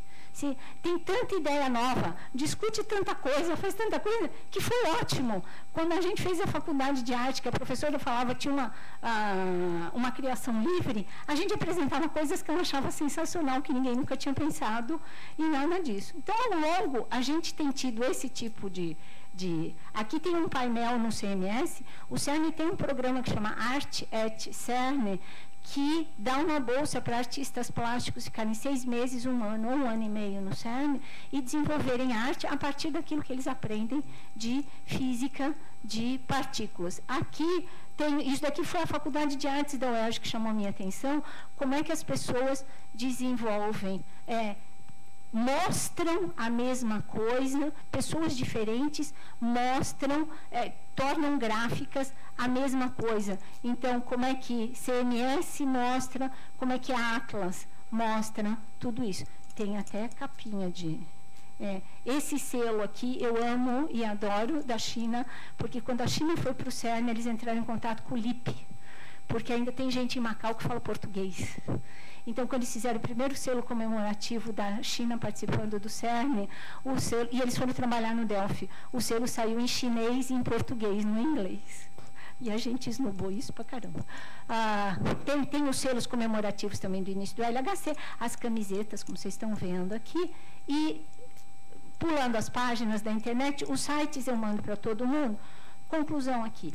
É, o masterclass não é uma atividade assim blocada. Ela pode se adaptar à escola, ela pode se adaptar às necessidades, ao que o pessoal quer, o experimento que quer fazer, o que, que quer analisar. Não, não precisa ser feita em dois dias e meio, ela pode ser colocada em várias épocas, que nem a gente fez com o Vitor. É, ela é uma e é uma coisa em movimento. Sempre tem trabalho para fazer, sempre tem mais coisa para fazer. A gente está traduzindo uma série de coisas, então também se quiser ajudar e participar, também é, não é liga para mim, mas escreve para mim. Tá? É, é o nome, massa.begalha.gmail.com. O Vitor também faz parte de tudo isso. O Vitor só não está aqui porque ficou doente. Estava no, no hospital. Está todo mundo super bem-vindo. Eu só queria chamar a atenção para uma coisa aqui. É, primeira vez que o, o CERN fez uma visita virtual para a América Latina foi feita com o Brasil. E a primeira visita virtual que foi feita com o Cérnico Brasil foi feita em Salvador, na Semana de Ciência e Tecnologia, aqui.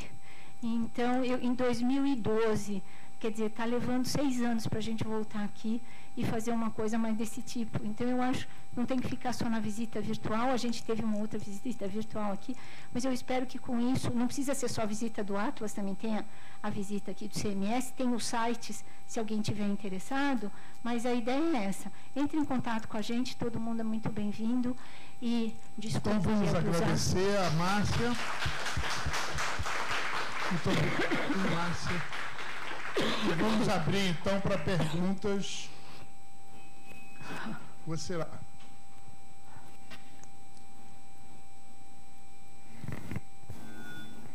Bom, obrigado pela palestra. Okay. Uh, então, física de altas energias. Um aluno que viu uma aula de termodinâmica, uh, a gente explica lá que o refrigerante zero, uma quilocaloria é muito pouco, então não vai ter problema ele ingerir isso se estiver querendo consumir pouca caloria.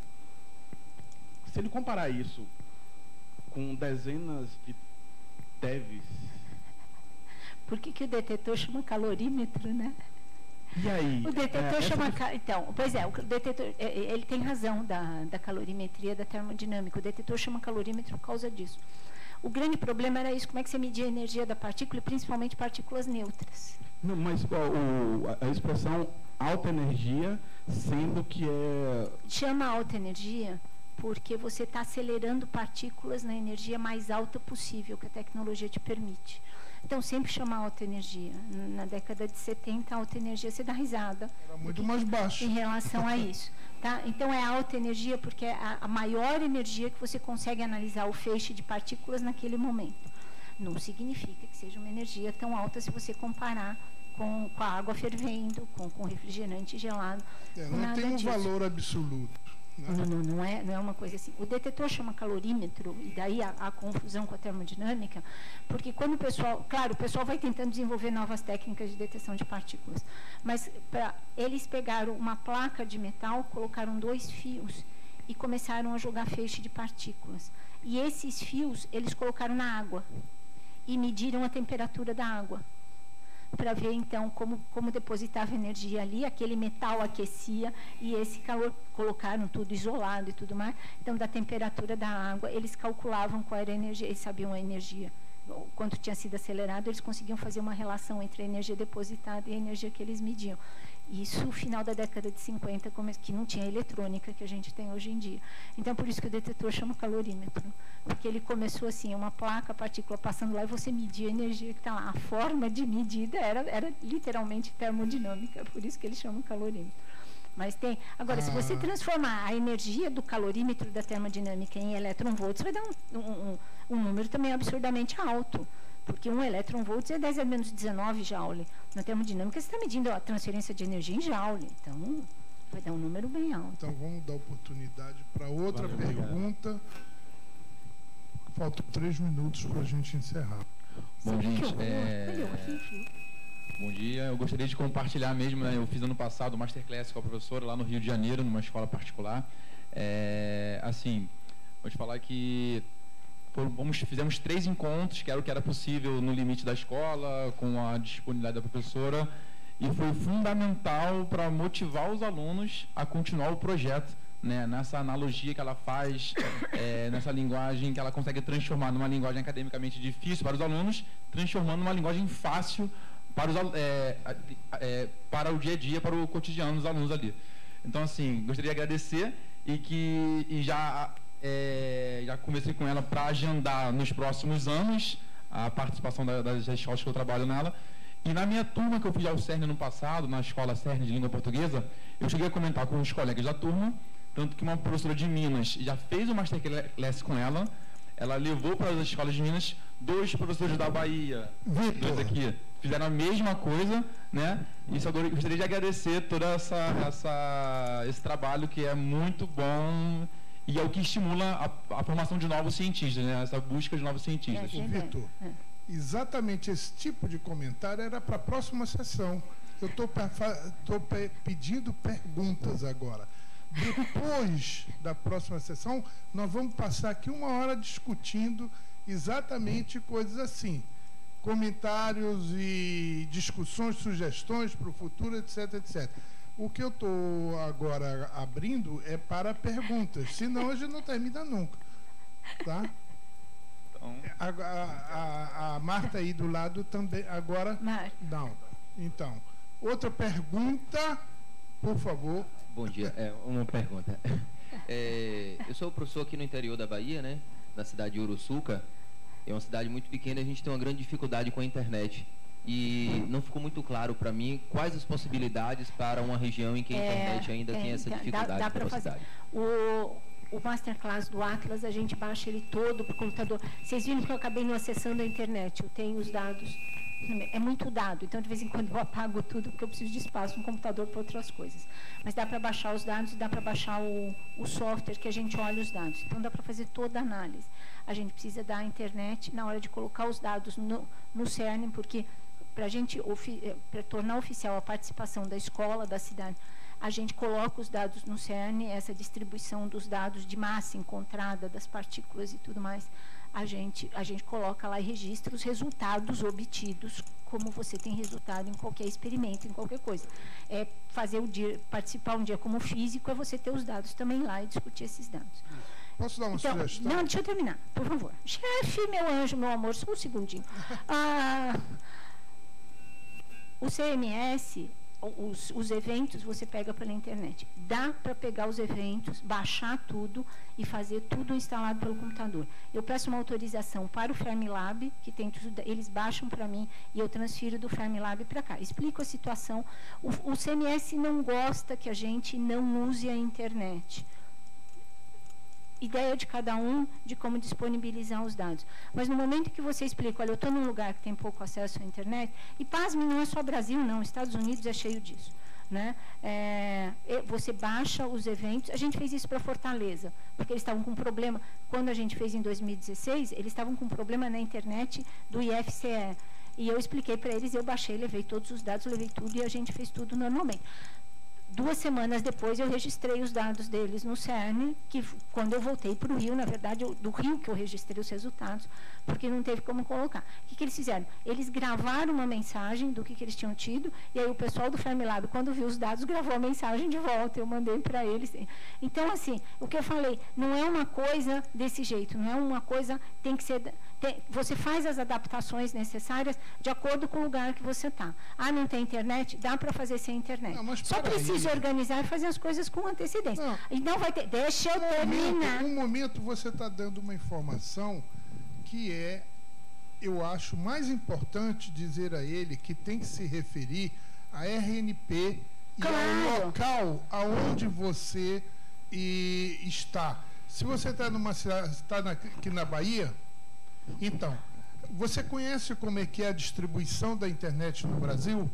Não. Então se informa direitinho, porque existem as, as regionais. A regional tem a obrigação de fazer isso em outros lugares. E aí é essa informação que você precisa, junto à RNP e à regional da internet aqui de Salvador, na Bahia, em geral, a central é na capital, entendeu? Para estender a internet até o seu local. Nós fizemos uma conferência no Rio de Janeiro na época que não tinha, tá? E foi, não vou contar agora que não é o caso, foi uma arte fazer isso. Então, hoje nós estamos progredindo, existem 100 gigabits para São Paulo, mas zero para vocês aí. Então, essa é a distribuição de renda também no Brasil, igualzinho. Então, tem que escrever para a RNP. E aí cabe todos os outros comentários não, seus. Sim. Porque não adianta nada estar tá fazendo isso, resolvendo sim, sim. a coisa na base do. Não, a gente leva tudo no. É. Fazer, incentivar que o pessoal consiga internet para todos claro, os lugares. Claro, claro. Não, não é excludente. Não é excludente. Bom, mas nós já passamos. Não, só mais uma perguntinha, minutos. deixa eles perguntarem. Não, só mais um. Nós vamos ter oportunidade please, de discutir daqui please. a pouco. Nós estamos no horário da do coffee break. Última pergunta. É, é, bom dia, meu nome é Flávia, eu sou química. tá, tô. Eu, é, eu os professores de química me amam. Eu amei. eu queria saber se pode ser estendido é, para alunos do segundo ano do ensino médio. Primeiro também. Ou primeiro também? Também. Ah, também. É, interessados em geral. Eu já tive um faxineiro do Colégio Pedro II de Niterói participando. participando. É. é. porque eu achava interessante isso. Da, é, começar no primeiro e dar continuidade até terminar. Aluno de graduação, aluno, qualquer ano do ensino médio, último ano do ensino fundamental. É, é, tá? Ok, muito obrigado. Vamos ao coffee break e em seguida a gente volta para cá e agradecer a Márcia finalmente pela palestra agradável dela.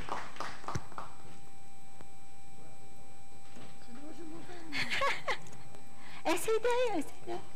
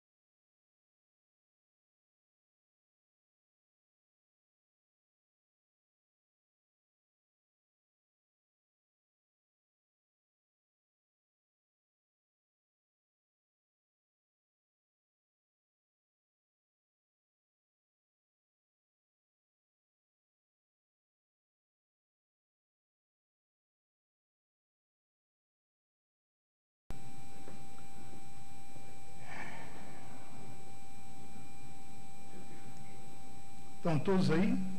Não. Mas estão lá fora, já estão avisados. Bom, então nós vamos começar. São 11 horas e 2 minutos.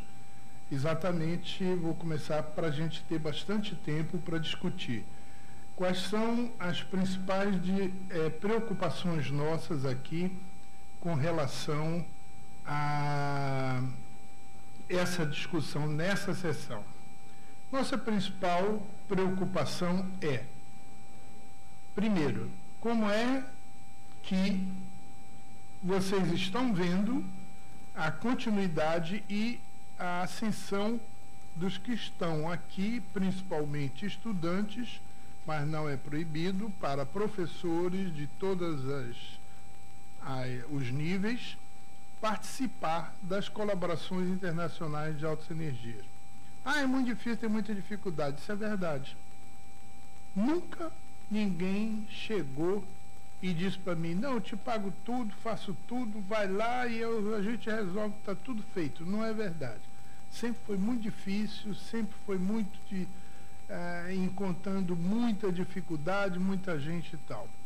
Mas umas coisa, uma coisa que precisa vocês colocarem na cabeça quando forem falar com autoridades para recurso, etc., é explicar Olha, astronomia, física de altas energias, essas áreas e ainda muitas outras áreas, elas dependem de um local. A gente quer trabalhar naquilo, ela é uma ciência global, mas depende de um local. Por que de um local? Porque, por exemplo, o CERN, nem o CERN se sustentaria sozinho, ou seja, um só país são 20 países que sustentam o CERN. Então, apesar de serem, por exemplo, 20 bilhões para construir um LHC, o túnel lá, apesar de ser isso, dividido por 20 países em 10 anos, é nada comparado com as despesas que a gente tem em, em, em geral em outras coisas dentro do país. Está entendendo? Não, é, não significa quase nada. Então, vocês têm que explicar esse tipo de coisa. Esse tipo de informação tem no site do CERN. Até na história do LHC, por exemplo, como é que foi construído, quanto custou. Foram 10 bilhões de dólares em 10 anos. Então, aquilo custou para 20 países 500 milhões em 10 anos. Então, vocês veem que não é uma coisa que derruba um. Ao contrário. E isso não é um gasto é um investimento. Investimento é diferente de gasto. Aqui, costumam às vezes responder para a gente: ah, mas os custos estão muito altos. Não existe custo. É investimento. Né? Você está fazendo um investimento. Você, quando é, paga as despesas para o filho para ir para a escola, você está o quê? São custos? Não, são investimentos na vida dele, que ele depois vai poder se desenvolver, etc. e tal. Então, essa é a nossa preocupação. Eu, então, eu quero ver se a gente fala pouco e recebe mais informação de vocês. Eu estou aqui, e o Luciano e outros, para responder dúvidas, perguntas, receber comentários, viu, Vitor? Seus comentários e outras, etc. Causa desse momento. Nós temos um tempo enorme agora para a gente fazer isso. Tá bom? Quem é o primeiro? Vai lá.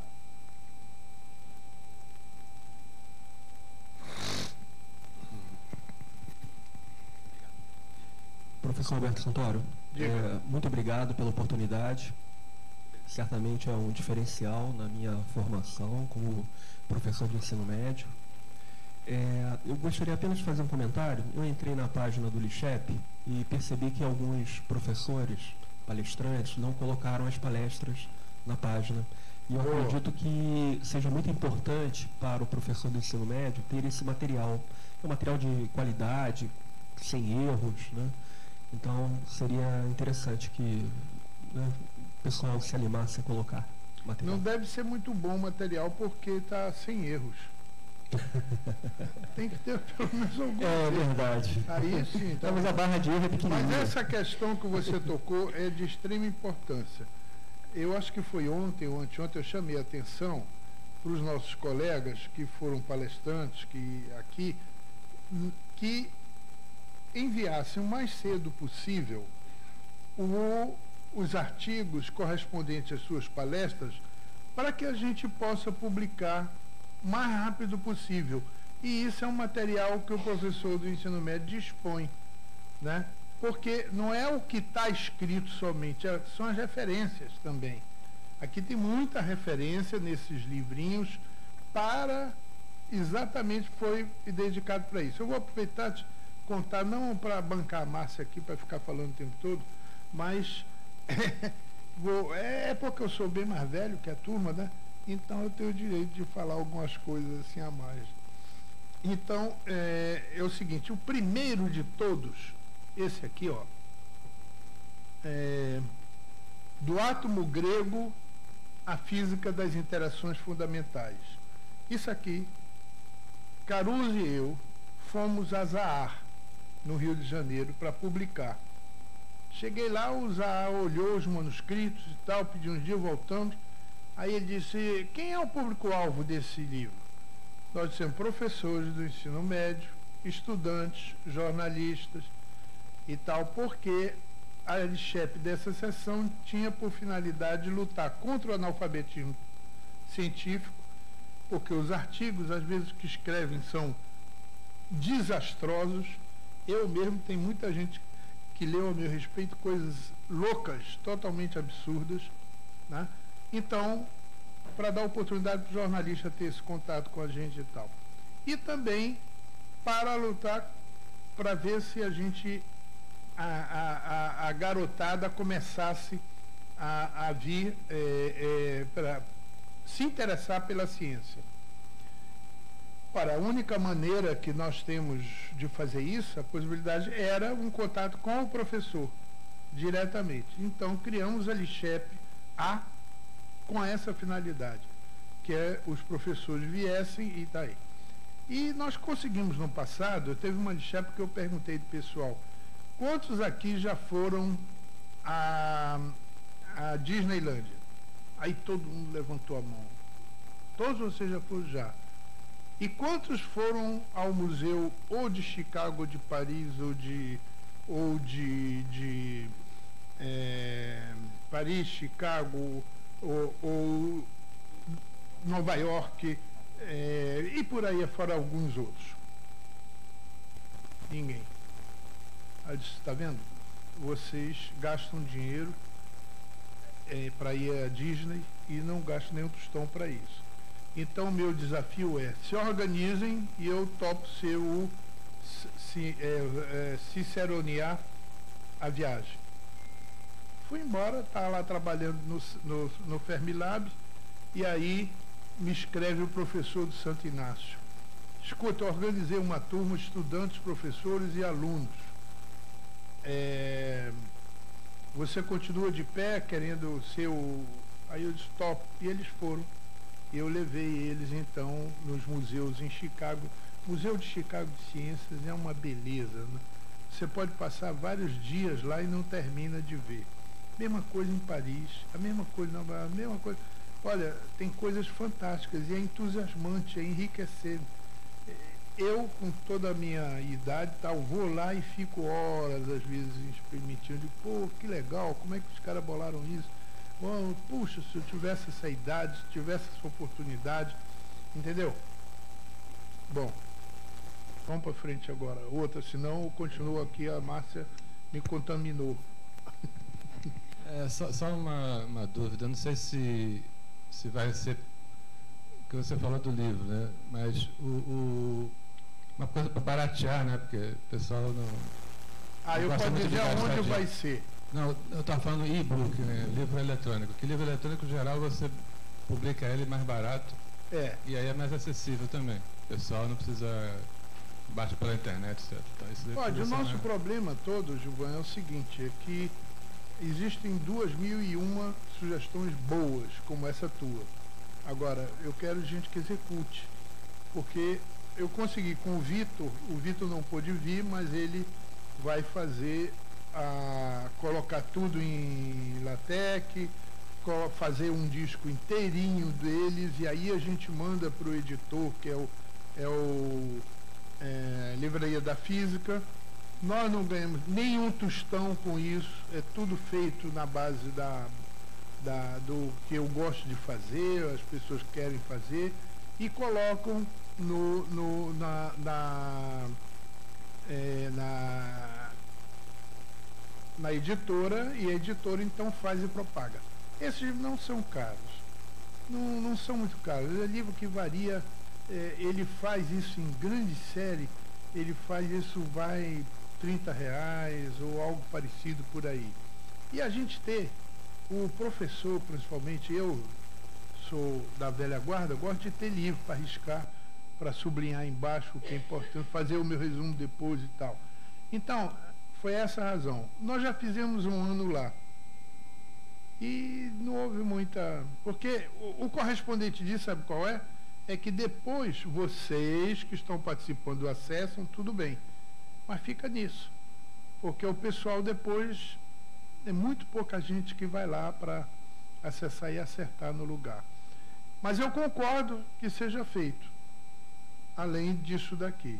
Agora, esse daqui eu gostaria que a gente continuasse publicando, porque o livro a gente escreve, a gente risca, a gente marca, né? e é muito bom. Eu tenho muito livro e é muito bom. Eu, às vezes, quero um livro de uma coisa que eu dei, uh, me procuram para saber, de que, olha, eu estudei no livro tal, foi muito bom.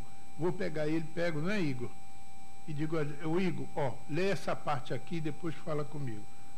Quer dizer, é, é, é bom nesse sentido, mas concordo com você. Vamos lá.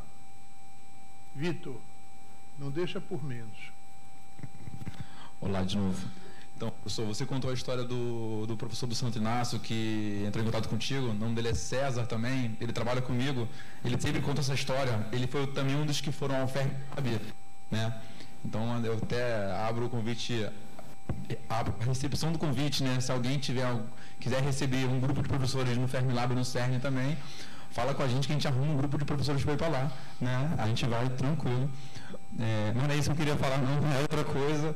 É, assim, é, eu acredito no projeto Lixep na sessão A, né? Tanto que eu me inscrevi para poder participar, pois ela tinha como objetivo é, na, na, na, contribuição na formação do professor no ensino médio, né, do estudante da graduação e de jornalistas como um modo de divulgação científica, com divulgação dos, dos projetos, das colaborações, para justamente para o professor de ensino médio continuar esse processo nas escolas continuar os, esse processo nas, nas escolas para o aluno de graduação se orientar, ver qual é a melhor opção de trabalho, né?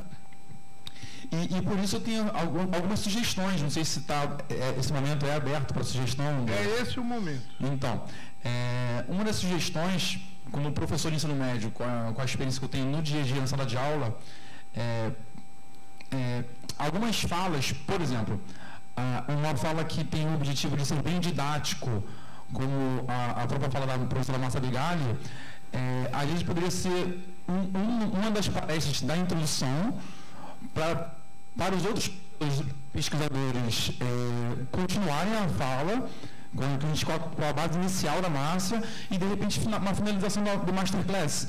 É uma sugestão que alguns professores conversamos e comentamos e achamos interessante por ter uma fala simples e que atende o objetivo. Mas isso você está se referindo ao Masterclass. Não, não. Uma fala inicial de introdução à física de partículas. Não, mas olha só, então você não assistiu as minhas. Eu assisti todas. Não. Foi tão não, ruim assim? Não, não foi ruim, professor.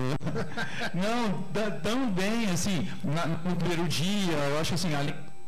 Sua. Acho que o microfone está. Tá... Alô, som. Né? Então, assim, essa é uma sugestão, eu acho que, eu acho que além das suas iniciais, que foram ótimas também, uma, uma introdução à física de partículas com alguns professores que também têm essa preocupação, além do senhor, né? Obrigado. É, mas estava boa.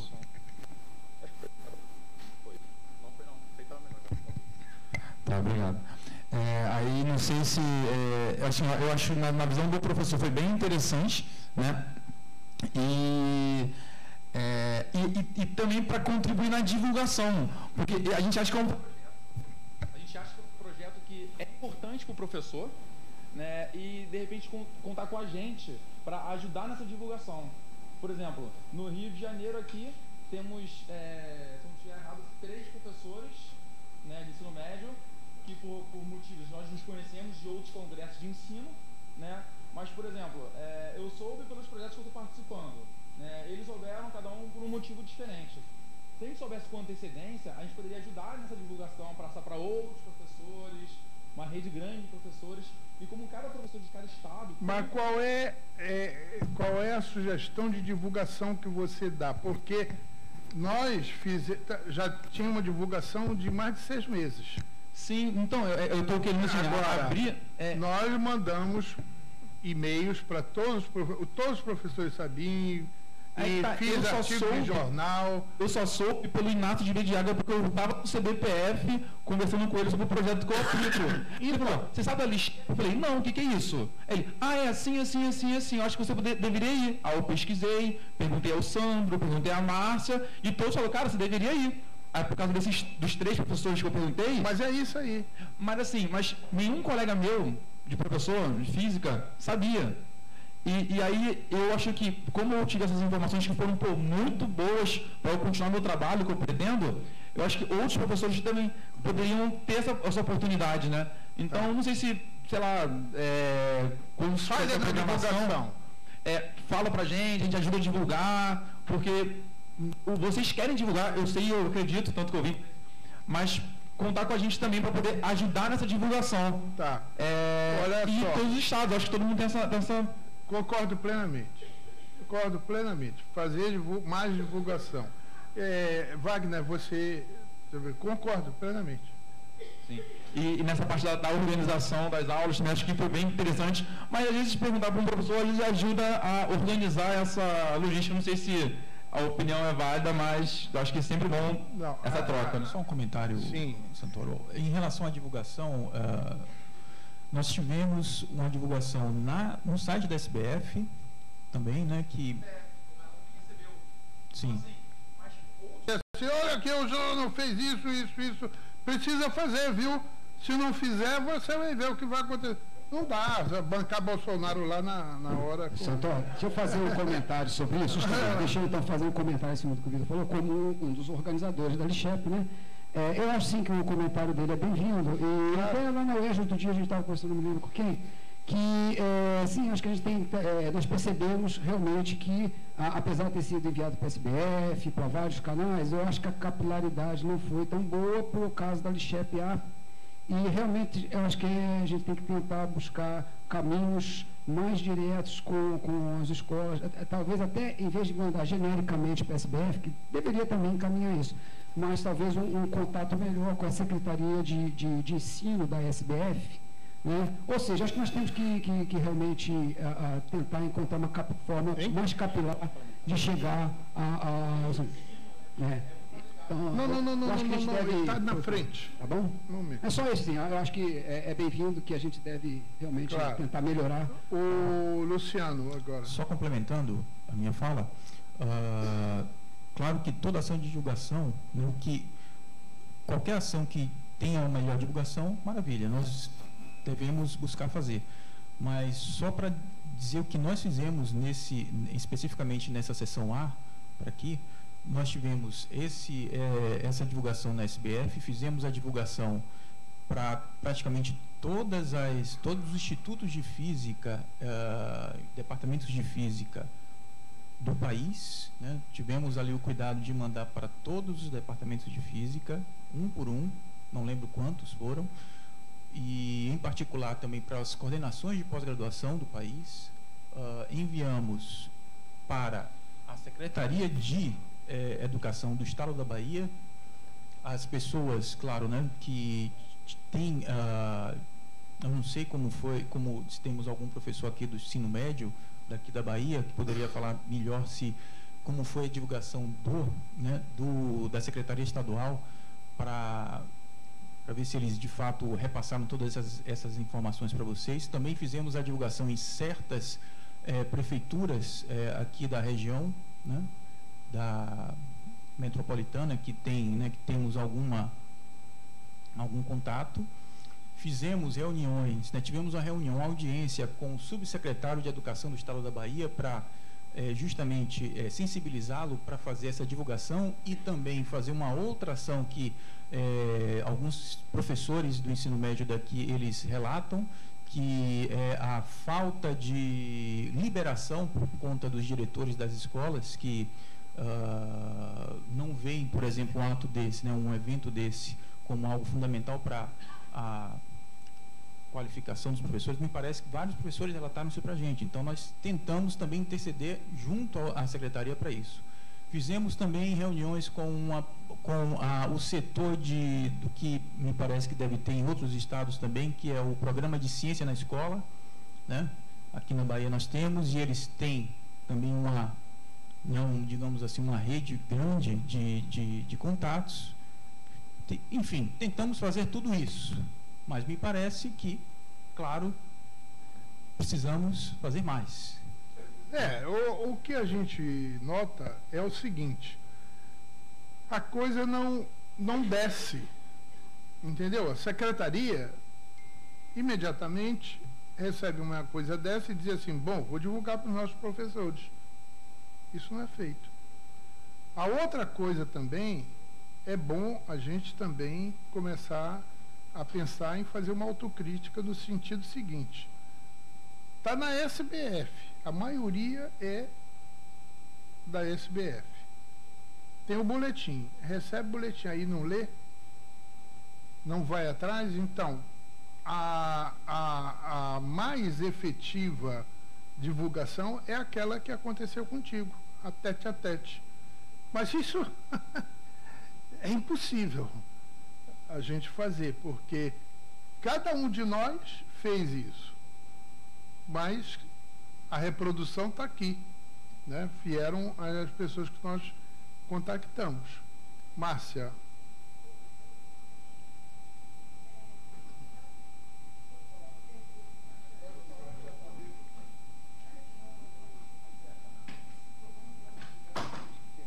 Oi, alô, tá me ouvindo agora? É, em primeiro lugar, Luciano, tua divulgação foi excelente, porque o pessoal em Natal escreveu para mim dizendo que ficou sabendo da Lixep, sim, a tempo, solicitaram dinheiro para vir para cá e não conseguiram verbo, por isso que não vieram e estavam acompanhando pela, pela internet. O pessoal que participou de Lavras, incluindo a Rafaela, os outros, os outros professores que participaram do Masterclass em Lavras, que são do interior de Minas Gerais, interior, interior de Minas Gerais, que não, tinham como vir, não, não tem como bancar, professor de escola pública não tinha menor, mas ah, ficaram assim, super felizes de poder acompanhar pela internet. Em Fortaleza o pessoal sabia, o pessoal do IFCE tentou vir e também não conseguiu vir, verba para vir, mas o pessoal estava sabendo, foi bem, assim, pelo menos aonde eu tenho contato no Nordeste, o pessoal ficou sabendo e não foi por mim, foi porque recebeu da, da UFBA a, as comunicações, os avisos e tudo mais e propagaram ali. Não vieram exatamente por falta de, de financiamento. Dois, a gente precisa, vocês não fizeram nada errado, a divulgação está muito boa. Não, e, e, nós fizemos também, eu fiz diretamente a Paraíba, com o contato é. que eu tenho, a Fortaleza, contato que eu tenho, a Manaus. É, é. Manaus, eh, no Amazônia, foi muito mais efetivo. Virgínia do interior, a BES tinham é, 150 é. participantes efetivos na sala. Ah, Entendeu? É. Bom, Agora, aí, deixa eu só complementando, tem o problema da crise. Eu recebi Exatamente. inúmeros é, pedidos, é. professor, eu preciso de auxílio para ir. De Natal, eu pessoal, lamento, eu não tenho dinheiro. O norte do Ceará foi isso, não conseguiu, não, não dá para o cara vir do próprio bolso. Entendeu? Não, o salário de professor não, não dá para bancar essas coisas. Infelizmente, não dá. O que, que acontece? A gente precisa é ter um acesso aos endereços e contatos das escolas, como tem a OBA, a Olimpíada Brasileira de Astronomia, e como tem o pessoal da Olimpíada Brasileira de Física. Tanto a Olimpíada Brasileira de Física quanto a Olimpíada Brasileira de Física das escolas públicas. Porque aí, eles, isso é uma coisa que o Canale fala. O Canale, para quem não conhece, é o organizador nacional da Olimpíada Brasileira de de astronomia e ele é professor da UERJ.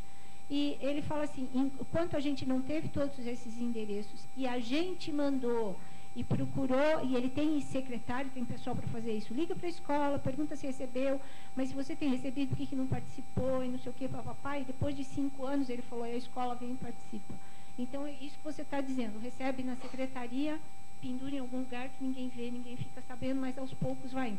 Mas não, não adianta você depender de Secretaria de Educação, depender de MEC, de nada disso. Se você não enviar, ou eles não enviam, ou enviam de uma maneira que fica que fique relevante. Então, o que a gente precisa, só um segundo, Antônio, o que a gente precisa é conseguir esses endereços para a gente conseguir enviar tudo isso. E esses endereços não precisam nem ser endereço físico de eu colocar no envelope colocar no correio. Tem internet hoje em dia, a gente tem e-mail, ter contato dessas escolas, e-mail da diretora, coisas assim, para a gente poder fazer uma lista de e-mails e mandar essas coisas, e mandar os boletins, mandar, mas que saiam da gente, da gente, da organização da Lixep aí, é, é, é, tá é, perpétuos grudados com o Santoro, mas que venha da gente para a gente enviar e a gente divulgar para essas pessoas e tirar uh, dúvidas e fazer todas essas coisas. Então, Vitor, o problema não é que foi mal divulgado, mas é porque a gente acaba não tendo acesso mas, direto. Márcia, tem uma coisas. coisa que é mais importante do que, do que isso. A conclusão que eu cheguei é que se eu tivesse dinheiro para dar as bolsas que todo mundo pediu, auxílio, etc., nós teríamos da ordem de uns 300 pessoas nessa Lichep. Olha, rapaz, é doloroso. Tanto é que aqueles que estão aqui, que receberam o meu e-mail, que é uma novela, é um negócio dessa altura, olha, a gente gostaria de pagar para todo mundo, mas não tem dinheiro, não sei o que, que tem mais lá, parará. O CNPq deu menos de 5% do que a gente pediu. Eu calculo as coisas todas direitinho e tal. São 30 anos fazendo isso. Ele faz o negócio todo, faz o pedido, e no final eles dão 16 mil reais para gente fazer toda a lixepe. Tudo. Tudo. Entendeu? Quer dizer, é brincadeira, cara. Não dá. E, é, coffee break, esse coffee break daí, que é um coffee break que não é lá as alturas nem nada, custa uma nota.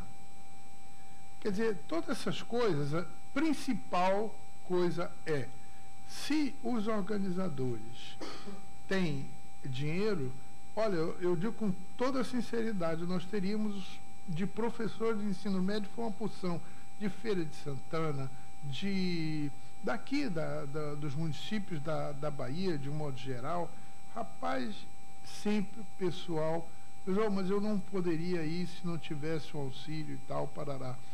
E aí eu criei aquele negócio, o princípio da nossa, da Lixep, o princípio. Não, ninguém será proibido de assistir. Número um. Número dois, nós pedimos, ninguém receberá total é, é, dispensa de pagamento. Então, pague de zero, que seria o total, né? mas para ir no, nas extremidades, até o preço total. Mesmo se vocês tivessem pago tudo, todos os totais, nós não teríamos dinheiro para cobrir todas as coisas, porque a gente não faz baseado somente nisso.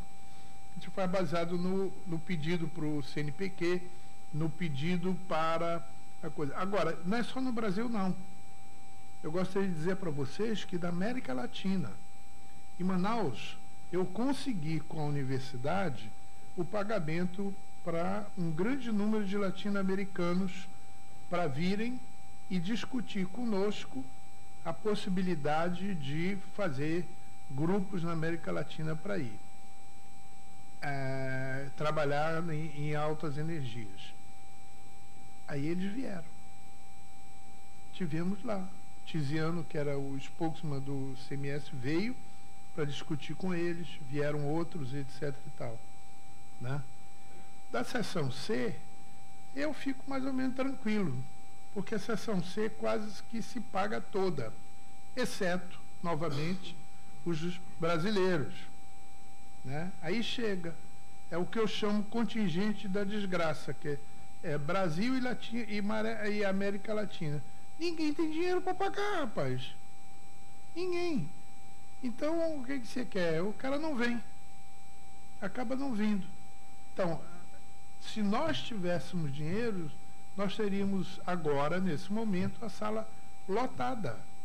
Não tenho dúvida disso, pelo número de pessoas. Além disso, 30 não vieram. Tá aí. Aí a gente gasta dinheiro comprando. Você vê que essa pasta foi o mínimo, mínimo morum de tudo que a gente podia ter. No passado a gente botava outras coisas, de vinho, fazia, acontecia e tal. A história desse livro, que eu vou doar aqui para vocês, foi porque eu tinha, tive um aluno que era milionário e resolveu fazer uma homenagem para mim, fazendo um livro, editores, que era o Caruso, o Vitor e Eduardo, eles é, ele, ele decidiu fazer duas mil exemplares. Eu disse, rapaz, não faça isso. Não tem nem, nem best-seller no Brasil, 500 exemplares é um best-seller no Brasil. Não vai dar e tal. Ah, eu quero, porque ele achava que isso era grande homenagem para mim. O livro ficou lindíssimo, é verdade. E mas sobrou livro para burro. Aí toda vez que tem uma lixepa eu trago um monte aqui para dar. Que é um livro que saiu caro para burro, muito caro. E tá aí. Então estou dando aí para vocês que sempre querem saber algumas coisas da gente. Mas vamos a outras, a outras perguntas, comentários. Marta, você ainda agora pediu a palavra e desistiu. Hã? Já foi contemplada? Obrigado. Outra pessoa?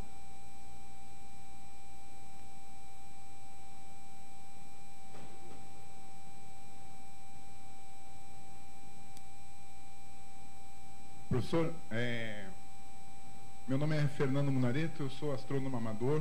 Eu gostaria de fazer um breve comentário, parabenizar ao senhor e a todos os envolvidos pela organização desse evento de extrema relevância para a ciência no Brasil. É, quero dizer que eu, eu fiquei sabendo do, do LICHEP por uma funcionária da UFBA, que me mandou material para divulgação. Quando eu vi, eu falei, nossa, eu preciso fazer o que for para participar, porque isso daqui mesmo não sendo da minha área de física, mas tem a ver com a minha área de astronomia e tem a ver com educação, com divulgação científica, é isso que a gente precisa fazer. O valor disso daqui é, é difícil de mensurar. Né? Eu que não sou físico, fiquei assim, poxa, encantado com, com o fato de poder participar e, e acho assim que, embora quando você olha para essas cadeiras vazias, você pensa, cadê os físicos de Salvador? O problema não é os 200 reais, porque se você tiver com muita vontade de participar, você vai chegar aqui e vai participar sem dinheiro, tenho certeza. Ué, teve gente que pagou dois reais. Tenho certeza disso, tenho certeza. Eu fiz esse investimento que não estava nem programado para fazer, mas, poxa, como eu estou feliz de ter feito esse investimento. Senti falta de grandes nomes da, da física na Bahia, que nós temos em Feira de Santana, por exemplo, né? O professor Marildo não pôde vir, mas mandou uma turma de, de alunos que foi muito bem representou tanto a ele quanto aos seus colegas. Então, é, mas também a gente não pode. A TV UFBA também está de parabéns. Eu acho que muita gente está acompanhando o simpósio pela, pela internet e é um super recurso porque a gente pode voltar às palestras. Poxa, alguma coisa que me faltou anotar ali na hora, eu vou voltar. Em várias palestras já anotei o ponto-chave para né, não perder tempo e voltar e estudar. Ah, eu não sou fotógrafo, tá? Estou aqui porque eu, eu olhei no primeiro dia, cadê o fotógrafo? Isso daqui precisa ser divulgado, gente. Não é só a pré-divulgação, não é só a pré-divulgação, mas a pós-divulgação também. Não só dos trabalhos apresentados, mas para o público em geral. A gente tem que cativar o menininho de, e a menininha de sete anos também, não é só o público mais velho, né? Então, que eles tenham um, um, um vislumbre do, que, que do que, que, pode ser feito no campo da física, da ciência e tal. E uma coisa também muito assertiva que o senhor falou, ah, por exemplo, Salvador não tem um planetário. Olha que absurdo. Né? Aracaju, uma cidade pequenininha em relação a nós, tem um planetário, Feira de Santana tem um planetário. E qual, por que não tem um planetário? O custo. É muito caro. Carro é uma coisa que a gente compra e não utiliza. O planetário de Feira de Santana recebe milhares de, de alunos todos os anos. São mais de 100 mil alunos por ano. Então, o que, que é caro? Investimento em educação é caro? Ah, eu fico mandando esses foguetes para fora, tanto problema para resolver na Terra, fico mandando foguete para o espaço. Né? Depois está lá usando via satélite e não sabe por que, quem é que pôs o satélite lá fora. Né? Então é muito importante, quero parabenizar todos, dizer que é, quem quiser, pelo menos eu, eu, fiz um registro, não sou fotógrafo profissional, mas acho que todos vão se encontrar no blog O Guardador de Estrelas. Eu ainda, as fotos já estão no Facebook, eu vou colocar hoje. E assim, dizer que foi um prazer enorme para mim participar como um observador desse encontro e pedir que ao final nós fizéssemos aqui todos juntos uma foto. Ah, olha aqui, deixa momento. eu te falar. O fotógrafo não foi pago mas ele existe. Né? Somos nós, ele. A gente tinha combinado, e eu ia falar isso agora, a gente ir lá para aquela escadaria do Instituto de Física ali, que ali dá para botar em cada degrau uma turma e subir todo mundo. Nós vamos fazer lá duas. Mas vamos Esta, fazer uma aqui também, professor? Podemos fazer uma aqui também. Nós vamos fazer lá a, agora da sessão A e depois nós vamos fazer da sessão C lá. Né? Tá? Então, ótimo, você também faz, e ótimo, mas aqui, olha, a gente fez, eu cheguei a fazer até com o Eduardo uma experiência na semana passada. Vai lá, Eduardo, fica aí e tal, fizemos lá. Então, é isso, rapaz, que não dá, que a gente fica exausto no final. Você é fotógrafo, varredor, é, não sei o quê, faz o programa, dá palestra, faz. Rapaz, é, é demais, não dá, você acaba fazendo algo mal feito. Tá entendendo? Peraí, tem aqui ainda de... o Luciano. Eu gostaria só de também é, é, reforçar o ponto que você colocou, Fernando, sobre a participação dos estudantes e dos físicos na Bahia, né, da Bahia. É, também sentimos falta, certo? Porque afinal nós fizemos todo esse esforço para fazer né, a Bahia para isso. É, mas não esqueçam, aqueles que puderem, então deixa eu aproveitar para fazer isso. Quem gostaria de participar da sessão C? É todo em inglês. Ótimo. Então, eu vou abrir para vocês o seguinte: vocês podem participar sem pagar, mas a parte que eu estou pedindo para que paguem é que eu não tenho dinheiro para pagar. A gente falou com uma companhia aí para fazer o passeio na quarta-feira que vem, na outra quarta-feira, lá no meio do, da coisa. Esse passeio tem um custo. Falamos com eles para fazer um, o brunch, ou seja, antes do passeio, fazer um, um não, não propriamente dito um coffee break, mas uma coisa melhor para a pessoa comer e sair para o passeio. E falamos, e falamos também para fazer, fui a vários restaurantes para saber onde podia ser mais barato e bom cheguei à conclusão que o Iemanjá, lá de, de, de, da Barra, fez um ótimo preço e uma coisa. Juntando essas coisas, e, e, o passeio, o jantar, o brunch, o welcome coquetel, o coquetel de boas-vindas, que é na segunda-feira às seis, isso tudo deu um custo que aí, baseado no pessoal que vai pagar então eu peço a vocês que vocês paguem pelo menos isto. E tem, nós fizemos uma soma desse valor, está lá com a secretária, com a, com a Ana, é só pagar para ela e recebe então o, o, o voucher da, de, de cada uma dessas coisas daí. Por quê? Porque isso daí eu vou pagar direto na segunda-feira à tarde, às 5 horas, a pessoa da, da, da, das companhias que vão fazer isso, de turismo e de outras coisas, vão trazer os valsos e a gente paga na hora. Então, eu não vou ter dinheiro. Então, a pessoa vai ter que entrar com um voucher lá. Né? A, a, a, a minha vontade era ter dinheiro para pagar para todo mundo. Ó, oh, tá tudo pago aí, pessoal, vamos embora. Não, não tem. Então, de onde eu vou tirar? E aí você diz, tira do teu dinheiro, eu já tirei, cara. O ano inteiro, quem pagou a secretária fui eu. Do meu dinheiro, eu sou aposentado, foi da minha aposentadoria que eu dividi para poder fazer isso e outros gastos. Mas não se trata de falar é, sobre essas coisas agora. O que trata de dizer é que eu peço a cooperação de vocês. Pode participar numa boa. As, as palestras custarão zero à esquerda. Agora, esses, essas coisas específicas, eu peço que vocês, se querem participar, e é útil participar, não é um luxo, não. Por quê? Por que, que é útil participar? Porque nessas ocasiões que você tem a oportunidade de conversar com pessoas que dificilmente vocês terão. Rapaz, vem aqui, na semana que vem, o diretor do Laigo. O diretor do Laigo que recém descobriu as ondas gravitacionais com duas outras pessoas que ganharam o prêmio Nobel. O Barry Baras, que, que ganhou o prêmio Nobel, já esteve no CBPF, eu conheço muito bem ele, e eu convidei ele, mas ele tinha na mesma data, tanto ele quanto o outro, tinham na mesma data o, o, um, um, quer dizer, um, já acertado uma ida deles para uma dessas conferências. Né?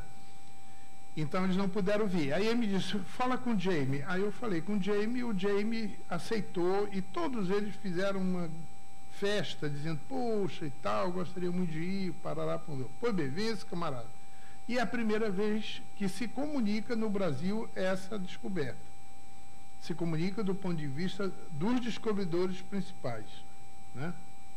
Que pode ter falado de outras coisas, isso é outro problema, jornal, etc. Aí, vem também os co-spokesman de todas as colaborações do LHC eles estarão aí para falar sobre a situação dos experimentos. Quer dizer, o cara que está lá no top da, da, da, da, colaboração é que vai falar o status atual da colaboração. Né? Vem grandes especialistas em física do Higgs, física disso, daquilo e tal. Por quê? Porque esse ano eu quis fazer aqui em Salvador exatamente uma comemoração disso aqui. Isso aqui foi em 1995, que antecedeu a descoberta do top. Lá foi lá na, na, no, no, no, Rio, CBT, Charme, Beleza e, e, e Top. Tem todo um, na minha abertura da sessão C, eu vou mostrar o índice deles, porque vai ter muita gente que vai reconhecer aí tá, o Paul Grandes, a turma toda, que na época a gente trabalhava junto lá no D0 em outros experimentos. Então, essas pessoas vão estar aí presentes. São pessoas que dificilmente você tem um acesso a elas. Né? Tem gente que vem aqui por dois dias e vai embora, só para vir prestigiar a Lichep. Quer dizer, a gente não usar isso Pô, você veio aqui, eu, eu gostaria de falar com você e tal. É um absurdo. É um absurdo. Se localmente o pessoal não souber tirar leite dessa vaca, vai morrer de fome. Tudo simbólico, é claro, né, que eu estou falando. Então, é, eu aconselho vocês a participarem grandemente. E disse a vocês, nessas horas essas coisas. Olha, eu fui estudante e eu fazia das tripas coração, ia preso depois, mas, mas eu ia. Porque era o único lugar. Rapaz, Luciano Maiani é um cara fantástico, um dos maiores físicos italianos vivos, né? Certamente um candidato a Nobel. Eu fui, quando era estudante, secretário científico dele, o que você está sendo aí hoje, não do Luciano, mas eu fui do Luciano. Só que numa conferência internacional, onde o Luciano dizia para mim, olha, eu não, não posso assistir todas as sessões, você vai assistir tal coisa, toma nota e resumo para mim aqui. Então, isso tudo me fez uma ligação com esse grande físico.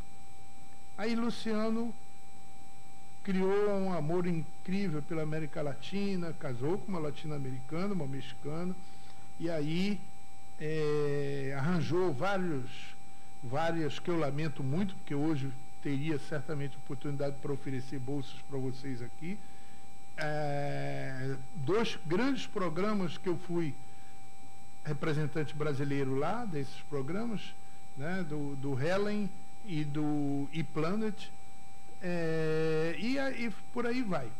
Enfim, são oportunidades que você tem de sentar com o cara, de falar num coffee break, no, no, no, no num passeio, né? E eu olhava assim e dizia, bom, tem um cara ali que esse cara é muito bom assistir a conferência dele, eu vou sentar junto dele no ônibus. Aí eu saía, saía me encostando assim e tal, pô, ia para lá e sentava junto do cara e dizia, pois é, né? Então, entendeu? Eu acho que então está feito aí a oportunidade, está aberta. Pode ir, só tem esse senão. Agora, outra coisa, outro senão também é o seguinte, por favor, se inscrevam, quem vai assistir, se inscrevam também na sessão C, lá com a Ana. Ela tem lá uns formulários, você se inscreve lá. Por que isso? Você dizer, esse cara é meio tarado aí, gosta de papel. Não é não. A CAPES, ela dá o, o, o dinheiro, o CNPq também, depois eles querem assim, é, quanto recolheu de, de FII, de é, taxa de inscrição? Quanto não sei o quê?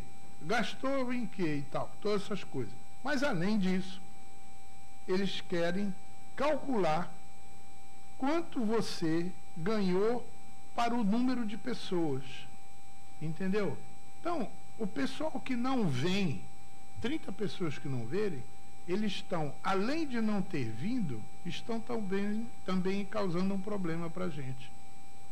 Porque a gente é obrigado a dizer, mas houve desistência de tantas pessoas e houve mais tantas pessoas, etc. A gente é obrigado a dar isso, é fazer o balanço final. Né? O meu trabalho só termina daqui a uns dois meses, e depois tem que mandar para as editoras os livros. Bom, Está com vocês. É uma hora? É, então que eu posso começar o, o fechamento, né? Mais algum comentário, alguma pergunta? Que aí eu vou fazer o encerramento, né? Aqui, desse local. Bom, bom dia. Bom dia. É, eu quero primeiro parabenizar pelo evento. Gostei bastante. E fazer um breve comentário que, na verdade, assim, é o que mais me chamou a atenção. Não sei se foi de caso pensado, de propósito, né? Mas durante as palestras, uhum. eu notei que, apesar dos temas diversos, havia um, um norte, né? Havia uma, uma coisa central. E isso levou a que, vários, em vários momentos, por exemplo, a, a a tabelinha do modelo padrão aparecesse ali. A professora Márcia comentou mais cedo, né? Vocês devem estar cansados de ver, mas eu vejo exatamente pelo contrário. Eu acho que isso tornou o evento pedagógico para a gente. O fato de ver e rever aquela tabela, rediscutir de várias maneiras diferentes a mesma coisa, eu acho que facilitou muito, pelo menos para mim, o entendimento. Boa. Então eu queria parabenizar por, por esse aspecto em particular. Claro, os outros também merecem é, aplausos, mas esse para mim em particular foi o mais interessante. Muito obrigado.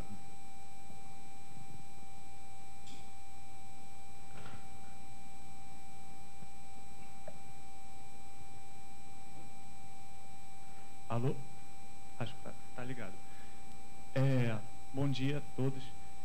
Eu só queria retomar aquela questão que a gente estava falando da divulgação é, do pouquinho do meu ponto de vista, muito do problema talvez não esteja exatamente na divulgação, mas o feedback que a gente tem, por exemplo, do público leigo. Eu ouço frequentemente as pessoas dizerem que não gostam de física, que acham que física é outra, uma coisa de outro mundo. Quem estuda física é visto como um gênio, como uma pessoa que às vezes não é humano, né? O que a gente estuda para muitas pessoas é uma coisa alienígena. Então, eu acho que isso tem muito a ver com a acessibilidade da linguagem. Eu acho que é, não no nível superior, mas no ensino médio, mesmo para as matérias que já, para os assuntos que já são consolidados, coisas que não se discutem, que são questão, que não são questões de opinião, ninguém discute aqui que força é massa vezes aceleração, né? Ainda mais no nosso campo que é, os pesquisadores, um vai ter uma opinião, o outro vai ter outra, como a gente já viu aqui nesse evento. Fica ainda mais difícil a gente levar isso a um público leigo. E é necessário que se leve, né? porque a gente já está aplicando essas coisas tecnologicamente na nossa sociedade. Se o público leigo não tem acesso a isso, é uma coisa que eu sempre gosto de colocar. A gente está dando a eles tecnologia alienígena. Não porque tem vindo de outro planeta, mas porque eles são alienados do conhecimento necessário para a produção dessa tecnologia.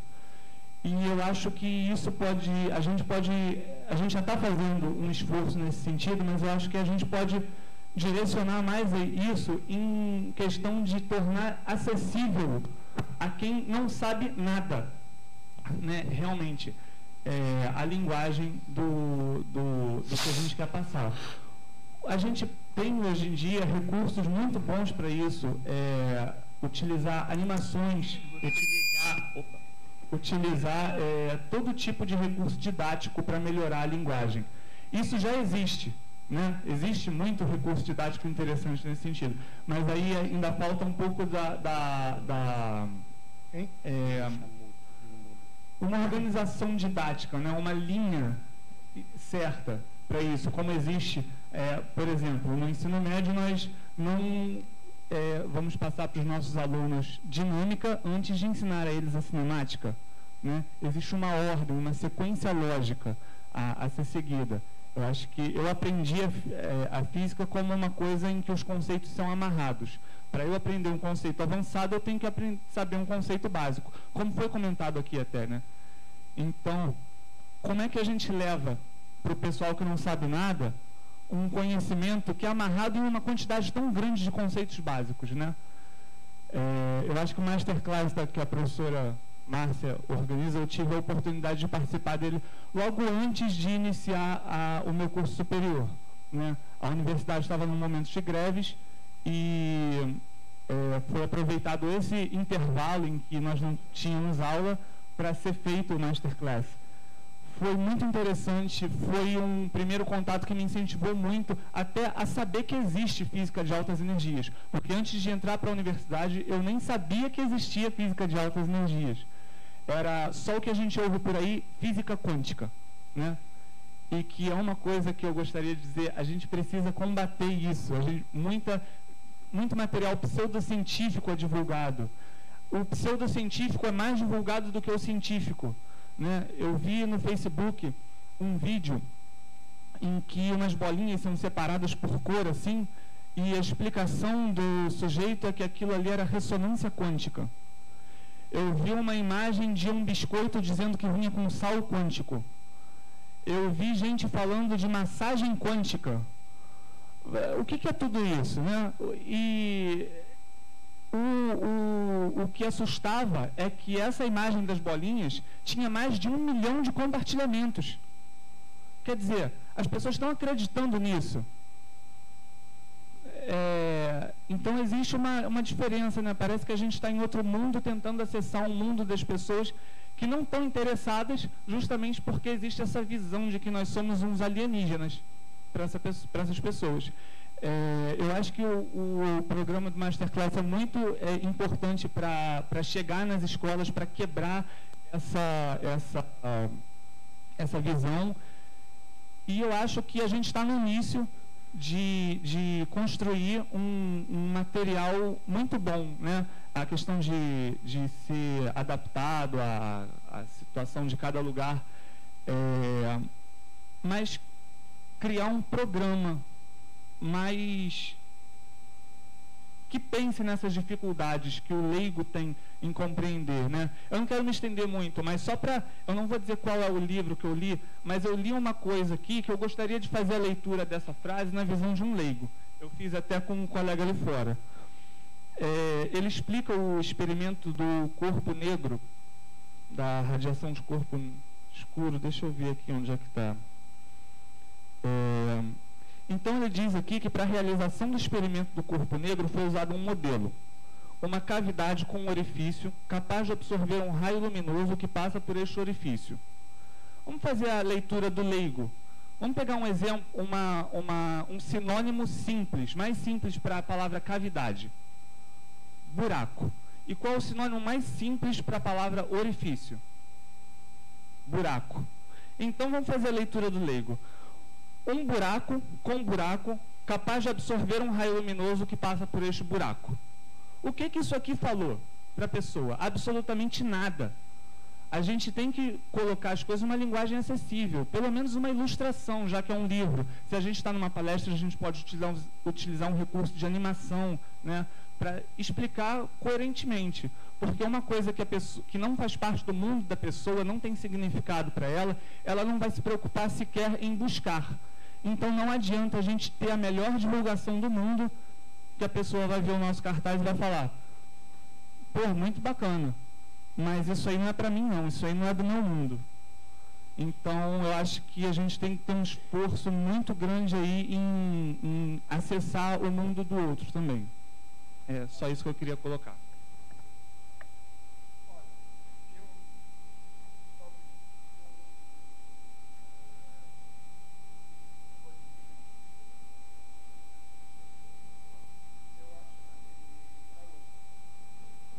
Então, pronto, voltou. Tem, tem uma coisa que você está falando aí que também precisa tomar cuidado. Se refere muito à linguagem, a linguagem tem a ver com o problema também do ensino de português, leitura, dessas coisas assim. É, isso tem, tem também a ver com um pouco disso. Né? Você sabe que depois do meu primeiro estudante, quando eu voltei para o Brasil, eu tomei como regra, para aceitar um estudante para orientar, o seguinte: você gosta de ler? Cara, gosto. Quantos livros você lê por, por mês? Ah, um, por ano. Tantos. Você gosta de ler? Não. Rapaz, então não. Eu estou sem tempo, não posso aceitar não. Por quê?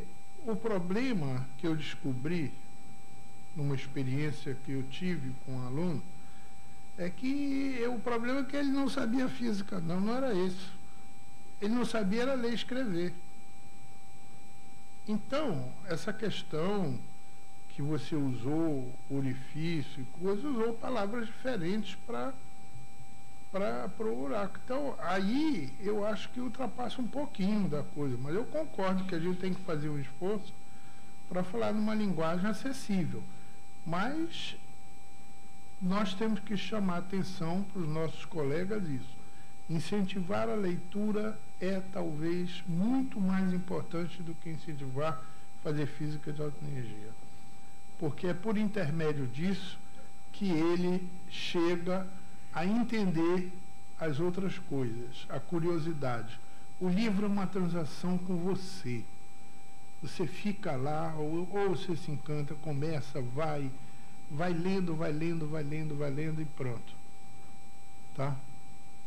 Eu, te, eu, eu gostaria de que daqui a pouco a gente vai ter que pegar o ônibus para almoçar e eu gostaria que a gente fizesse a, a fotografia antes. Mas nós temos que fazer o encerramento e temos que fazer isso aqui, essa distribuição. Então, a primeira coisa, eu gostaria que, ah, para esse livro daqui, quem vai levar o livro para sua instituição em primeiro lugar, em segundo lugar, para si mesmo. Quem gostaria de ter esse livro, esses daqui? Quantos são? Então, não dá. Bom, então. Ótimo. Então o pessoal do Rio não pega, por favor. A, a massa é, é pegar lá na nossa sala, tem aos montes. Tá bom? Então, pessoal do Rio, cai fora. Agora, você tem na biblioteca? Então já tira. Pois é, para Bahia principalmente.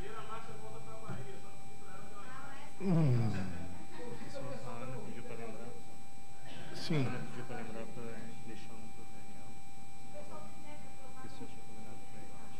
E o Daniel já pegou o seu? O Daniel? Então pega.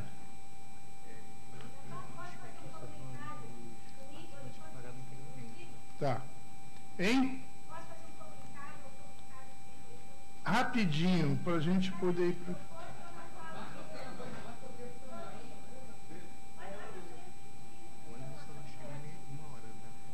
É, mas isso aí vai demorar ainda. Ainda vou fazer outras coisas ali.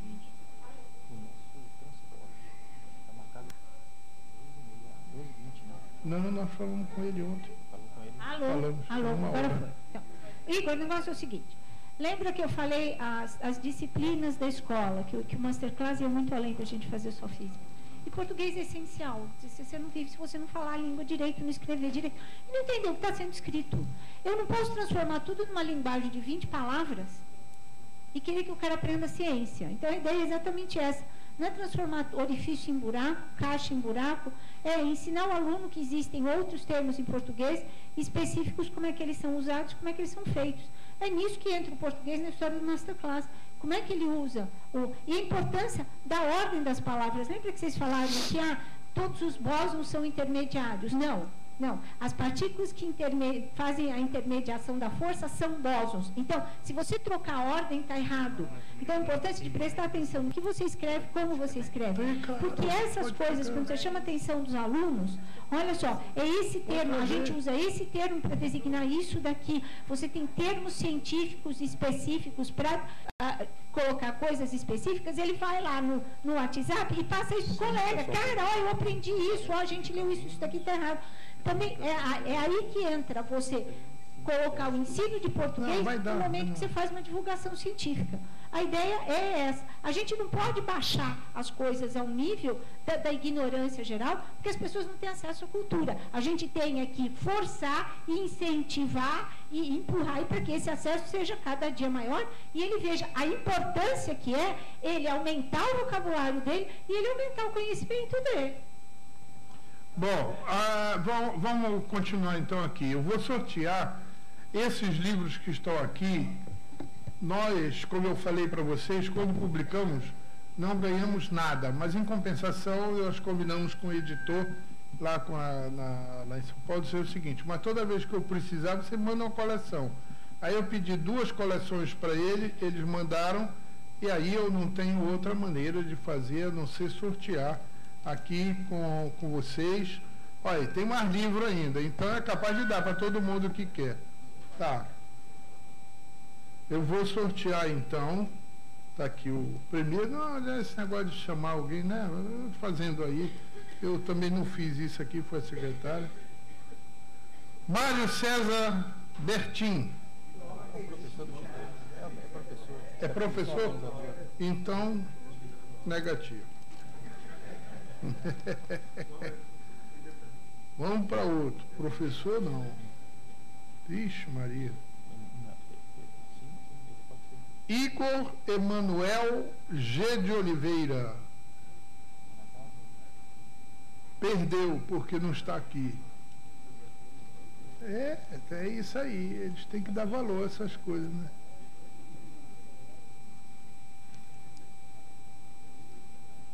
Gabriel Fonseca, Colégio Antônio Vieira. Também não está aqui. Perdeu. Vai sobrar livro para todo mundo.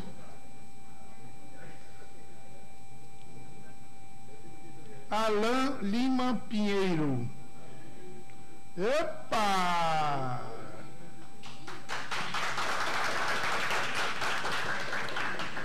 Olha, Alain, você escolhe qual é o que você quer. Tem aqui, ó.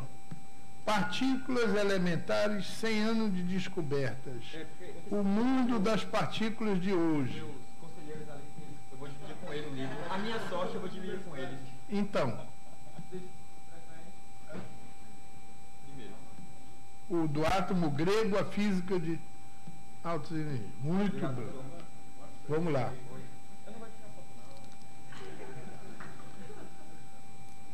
Então, Vitor Rocha Rodrigues da Silva, Colégio Naval. Aê! Qual deles você quer?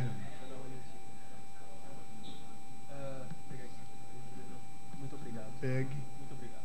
De nada. Olha aqui, Vitor. Vitor, pega um também para você. Opa!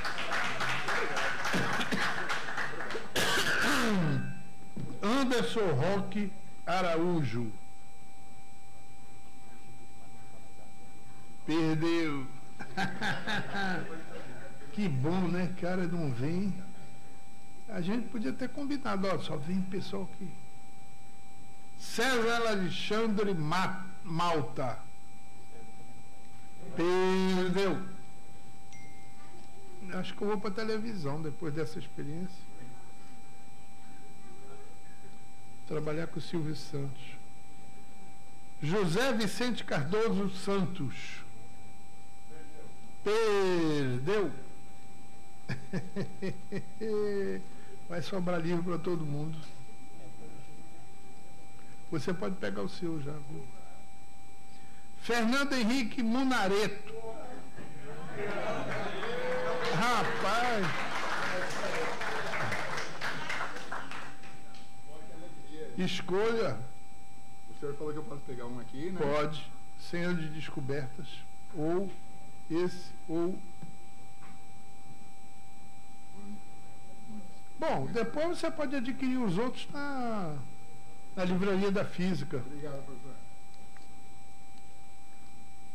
Muito bem. Elcimar Pessoa Rocha. E aí?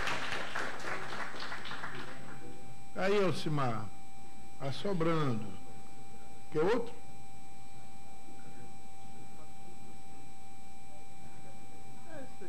Tá? Então pega outro aqui para você. Isso aí. Pedro Henrique Nascimento Silva. Opa!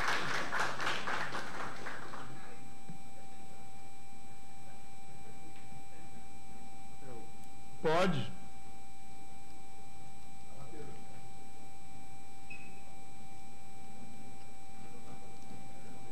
Joaquim José Soares Souza Júnior. Aê! Escolha.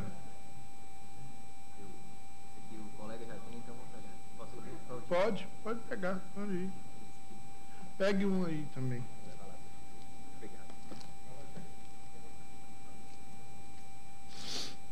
John Elber Leon Padilha. Perdeu. É. Muito bem. Marta Máximo. Ah. Escolha aí, Márcia.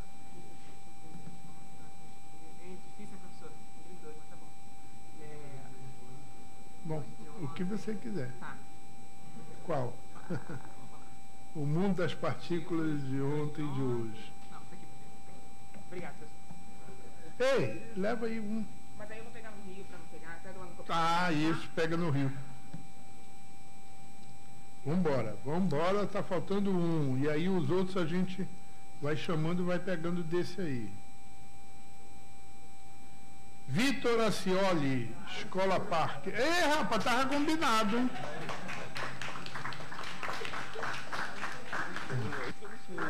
Não? Então pega aí. Muito obrigado. Agora só desse aqui. Eric Rosa.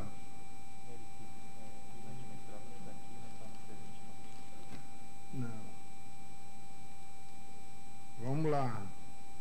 Yuri Baranov Pereira.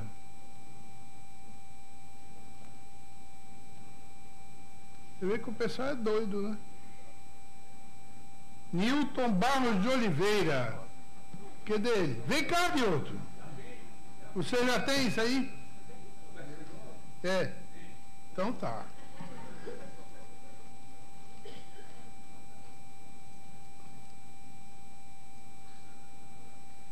Gabriel Marcondes Caires.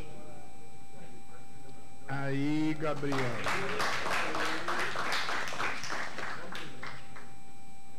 Pegue esse aí que os outros não têm. Júlio Moraes.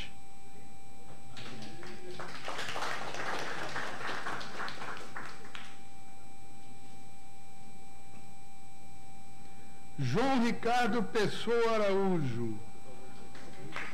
É, os que já acabaram.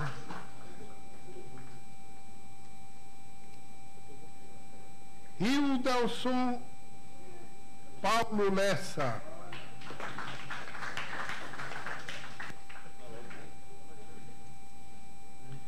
Francisco Miguel Costa.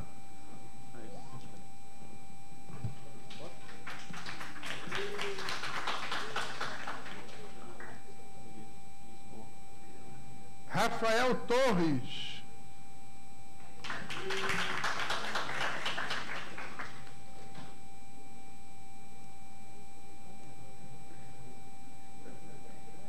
Melina Silva de Lima. É você? Tá lá. Rapidinho, é porque eu pensei que a distribuição do livro tinha entendido que esses livros ia ser uma coisa mais democrática. Eu tô vendo um monte de livro para um só lugar e a gente queria um. O quê? A gente é daqui do sul da Bahia. E aí Sim. a gente queria um livro. Aí eu tô vendo assim, eu pensei que ia ser mais democrático isso daí, pelo que eu entendi. Foi muito democrático. É, mas tem um, o povo ali, ó, Feira de Santana já tá com três. Gente- Quem? É, olha lá. Ah, olha só. Pode vir aqui e pegar.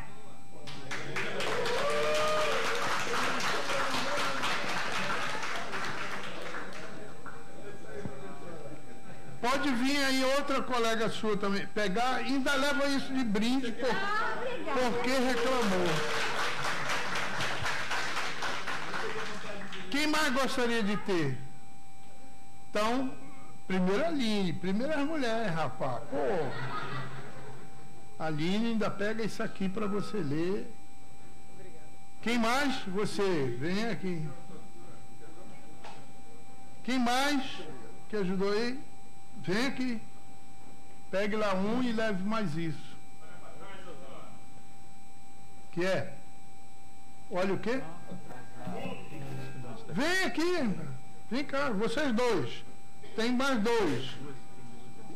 E tem isso aqui também sobre o CMS, que é muito bom. fazer o seguinte. Quem? O que eu deu, Ah. tá certo? Eu tenho. Itamar. Pode pegar. Pode pegar. Quem mais? Olha aqui. Vocês são de outra instituição. Não são daqui. Então tá. Quem é de outra instituição que gostaria de ter um. um- então pega aqui. Pega aqui. Marta, isso aqui não tem no Rio. É melhor você pegar. Vamos dar um para o Itamar que foi gente. Vamos. Itamar. Itamar. Isso. Daniel Souza. Stagnate Forget. Não está aí? Mazenflex. Também não está. Quem? O que que tem? Ah, o Daniel. Aqui, Daniel. Agora, tenho dois aqui.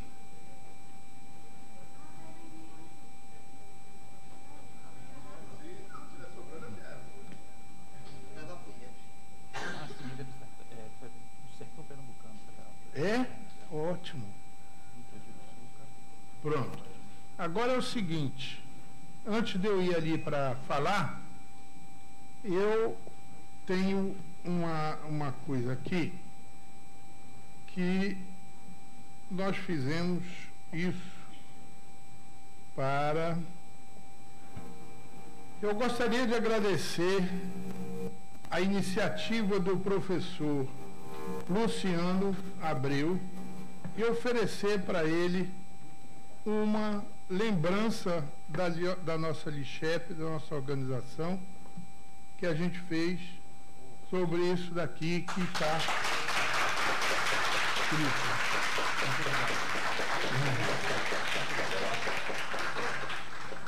Isso, isso daí tem que, tem que ser né, desse tipo assim.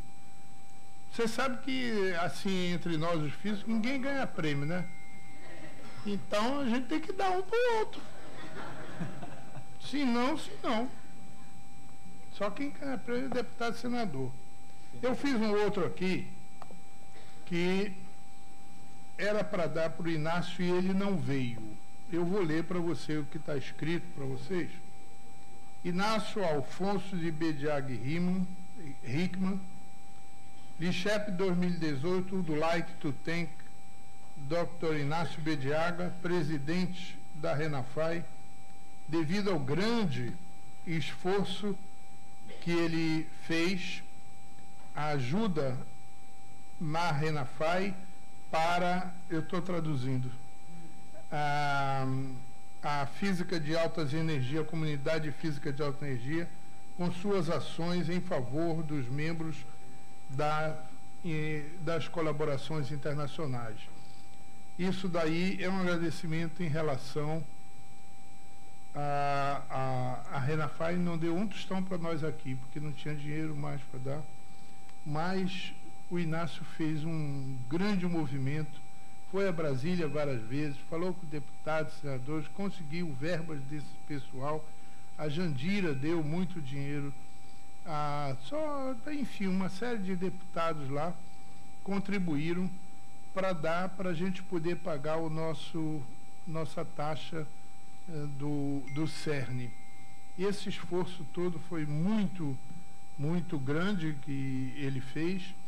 E então eu achei lá no Rio, antes de vir para cá, que eles dois, ele de um lado porque trouxe para cá, para a Bahia, a e é, o Inácio por ter arranjado as coisas de tal forma que a gente está em dia com o nosso emendou no CERN. Então, eu acho que ele merecia um agradecimento. Um agradecimento só assim, blá blá blá, ficou. Não tanto assim, ele tem algo gravado em nome de, da Lixep, pelo menos. Né, os organizadores, nós estamos de acordo, está de acordo? Todo mundo está de acordo em dar uma lembrança para ele em, a título de agradecimento. Bom. Na semana que vem eu dou para ele isso aqui e a gente vê, porque ele não pôde vir, tava, não estava bem e tal. Eu vou fazer então agora ó, o encerramento e depois, se alguém quiser fazer mais alguma coisa, é só me dizer que a gente continua. Muito bem. É... Olha, muito engraçado o que está acontecendo. Ele sumiu com a frase. Entendeu? Sumiu tudo que eu escrevi ali. Muito bem. O nosso agradecimento vai primeiro para Ricardo, professor, doutor Ricardo Carneiro de Miranda Filho, diretor do Instituto de Física da Universidade da Bahia, que também não mediu esforços para realizar a nossa LICHEP aqui. Sem o apoio dele, a gente não poderia ter feito nada. Ao professor doutor Luciano Abreu, a quem nós entregamos uma placa de agradecimento, e ao professor doutor, doutora, a professora doutora Olívia Maria Cordeiro de Oliveira, que nos cedeu gentilmente esse auditório da Geociência para a realização da nossa LICHEP. Novamente ao Luciano. É, eu gostaria de lembrar a importância de escrever o artigo correspondente, foi o comentário que você fez, né, para publicarmos no livro, para ter material para o professor. Olha, aquele primeiro livro, eu não, acabei não contando a história, né? Aí o Zá virou para mim e disse, para quem é? Os professores e estudantes. Aí só, esse, esse público não compra livro, isso aí é livro para ficar na prateleira aí. Aí eu disse, bom, então o senhor cobraria quanto para editar? 12 mil dólares, sem prejuízo de tudo. Aí eu disse, muito obrigado. Saí eu e Caruso. Eu disse, Caruso, quer? Eu tenho tanto, você tem tanto. Vamos embora, a gente manda editar aqui numa, pela IAFEX. E a IAFEX, uma associação que nós fundamos para quebrar esses galhos assim, né? E é, fizemos o livro. Dissemos, bom, a gente não tem para distribuir, não tem nada disso e tal. Como é que a gente faz? Diz assim, Caruso, tu leva aqui esse monte para, vai distribuindo nas bancas de jornais. E lá da Zona Norte. E eu distribuo na Zona Sul. Tá bom. Aí eu levei para vários jornaleiros. Chegava lá, deixava cinco e dizia assim, olha aqui, se você puder vender isso aí, vende. Vende por cinco reais, que a gente só quer saber se tem aceitação, mais nada. E fizemos isso em vários lugares. Duas semanas depois nós voltamos, vendeu? Ah, mas eu vendi tudo, mas eu cobrei um pouco mais. Cobrei 15 porque eu queria ganhar um dinheirinho também. Eu disse, não, tudo bem, ótimo, a gente só queria saber se tinha aceitação. E tinha. Rapaz, depois disso, nós recebemos carta do pessoal do interior. Naquela época, na primeira, não tinha e-mail assim, não. Escreveu para a gente, olha, eu não sei onde comprar esse livro e tal. E a gente mandou. Aí nós tivemos que fazer uma segunda edição, porque ele vendeu tudo. Fizemos a segunda edição, quer dizer, a gente não vendia, a gente mandava para o cara, para o interior do Brasil. E mandamos para todo mundo e tal, e fizemos uma segunda edição. Só que aí na segunda edição a gente descobriu que tá cheio de misprint, quer dizer, palavra errada, tudo e tal. Aí consertamos tudo, fizemos essa edição que está aí que vocês receberam. Tá? Foi essa história. Dali em diante, a gente falou com o cara da livraria da física que quebrou esse cara, ele publica. O importante é isso, é publicar e divulgar. Bom, então, é, leiamos não, é, leiam os boletins e a página da Lixep, que tem todas as informações lá, né? Para compreensão do, do total.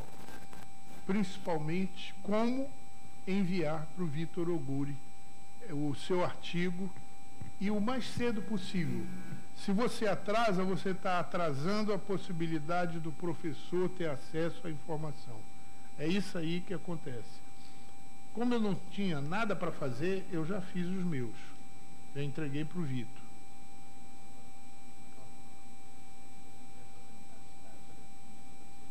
Como? Depois deixa eu terminar.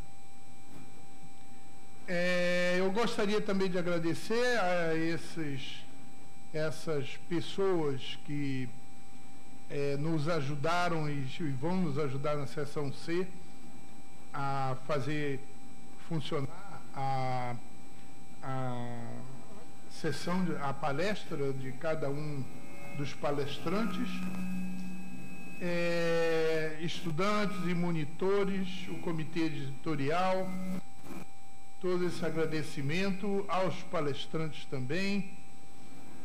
Todos eles vocês já conhecem. Quero agradecer também ao Comitê Internacional. Isso eu vou fazer lá no, na próxima sessão, que aqui não adianta, mas nós tivemos vários problemas aqui. Por exemplo, o Garcia Canal da Argentina, eu quis trazê-lo, mas não tinha dinheiro. É, e por aí vai. Né? Aqui a gente tem uma medida que não está acabada, porque nós não refizemos, ainda fizemos quando fecharam as inscrições. Tem 83 aqui na seção A, com 15 eh, instituições participando. Tem 84 na C, com seis estados. Não, desculpe. Isso aqui ainda é da seção A, isso é por estado, né? Por estado. E isso aqui é da seção C. que depois eu vou mostrar lá também. Tem 87 inscritos até o dia né, que fechou e com 19 países, quer dizer, vocês vão ter 19 países presentes aqui no, na próxima sessão. É, aqui a sessão A mais a sessão C, no total, nós vamos, já fizemos, e vamos distribuir agora os certificados. Hein? Tá. É só pegar com a Ana o certificado de presença. E quem precisar de alguma outra justificativa, é só depois escrever, falar e eu faço. Tá? Esse certificado também a gente dá somente na última sessão. Quem não veio a última sessão não veio a LICHEP. Por quê? Eu tenho que prestar conta disso. Não pode isso entrar num inimigo nosso, os vários que não gostam de física de alta energia, que mandam dizer para a CAPES, olha, na verdade aquilo lá é uma bagunça, o cara vai lá num dia e fora. Então vocês estão dando dinheiro para jogar fora. Entendeu? Então eu digo, não senhor. Quem tem o certificado, que entra na minha estatística e que eu justifico que participou de fato das coisas. É, para aqueles aí, eu já falei com vocês né, sobre isso. Muito obrigado mais uma vez. Mais um agradecimento. Viva Licep. Professor Santoro, só complementando os agradecimentos que você já fez, eu gostaria de agradecer à Administração Central da Universidade Federal da Bahia pelo apoio que tem dado nesse evento, em particular ao setor de transportes da universidade, ao setor de uh, ao, ao, Instituto de Física, todo o corpo de funcionários e professores do, do, Instituto de Física, ao diretor do Instituto de Física, professor Ricardo Miranda, uh, ao corpo de funcionários e terceirizados aqui do Instituto de Geociências, trazer segunda-feira de manhã, uh, ao setor de divulgação científica da Universidade Federal da Bahia, é, levando em conta todo o trabalho, todo o esforço feito pela Mariluce Moura, uh, a TV UFBA, que, tem, que transmitiu de ponta a ponta esse, essa sessão A do evento. Tá. Muito obrigado a vocês por, toda, por todo o apoio.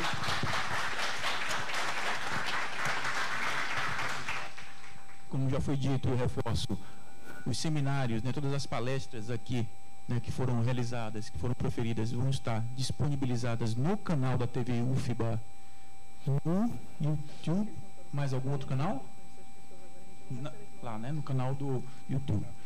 E, finalmente, eu gostaria de fazer um agradecimento mais do que especial ao professor Alberto Santoro, porque desde o primeiro momento né, em que ele colocou essa possibilidade de fazer a Lixep aqui, nós, é, digamos assim, percebemos o momento histórico que isso seria para a Universidade Federal da Bahia e para o Estado da Bahia, e não é, poupamos esforços para tornar isso aqui realidade. Professor Santoro, o senhor é uma, digamos assim, como eu chamei atenção na primeira palestra do evento, a sua história se confunde com a história da física de, de altas energias do país. Uh, reconheça que estou falando já também em nome do diretor do Estúdio de Física, que ele me concedeu também essa, né, essa uh, tarefa de, mais uma vez, agradecer todo o esforço e todo o empenho e toda toda a sua idealização também, tá certo, em é, tornar isso aqui realidade. Muito obrigado, professor. Muito obrigado. Eu acho que nós temos dar uma salva de palmas ao professor Alberto Santoro por toda a sua história. Muito obrigado. Eu esqueci de falar. É, a Ana me chamou a atenção que se a gente for fazer as inscrições daqueles que querem participar da CIA agora, nós não, não vamos atrasar para o almoço. E a segunda coisa é que ninguém deve deixar mais nada aqui, porque vai ser fechado até a próxima segunda-feira, que a gente vem às sete horas para cá. Tá? É, quer dizer, nós viremos às sete horas, é, vocês não precisam vir às sete horas. É, mas não esqueçam que a inscrição será a partir de 8 horas, tá? vocês façam isso. A foto aqui agora uma e depois a gente desce lá para fazer a outra.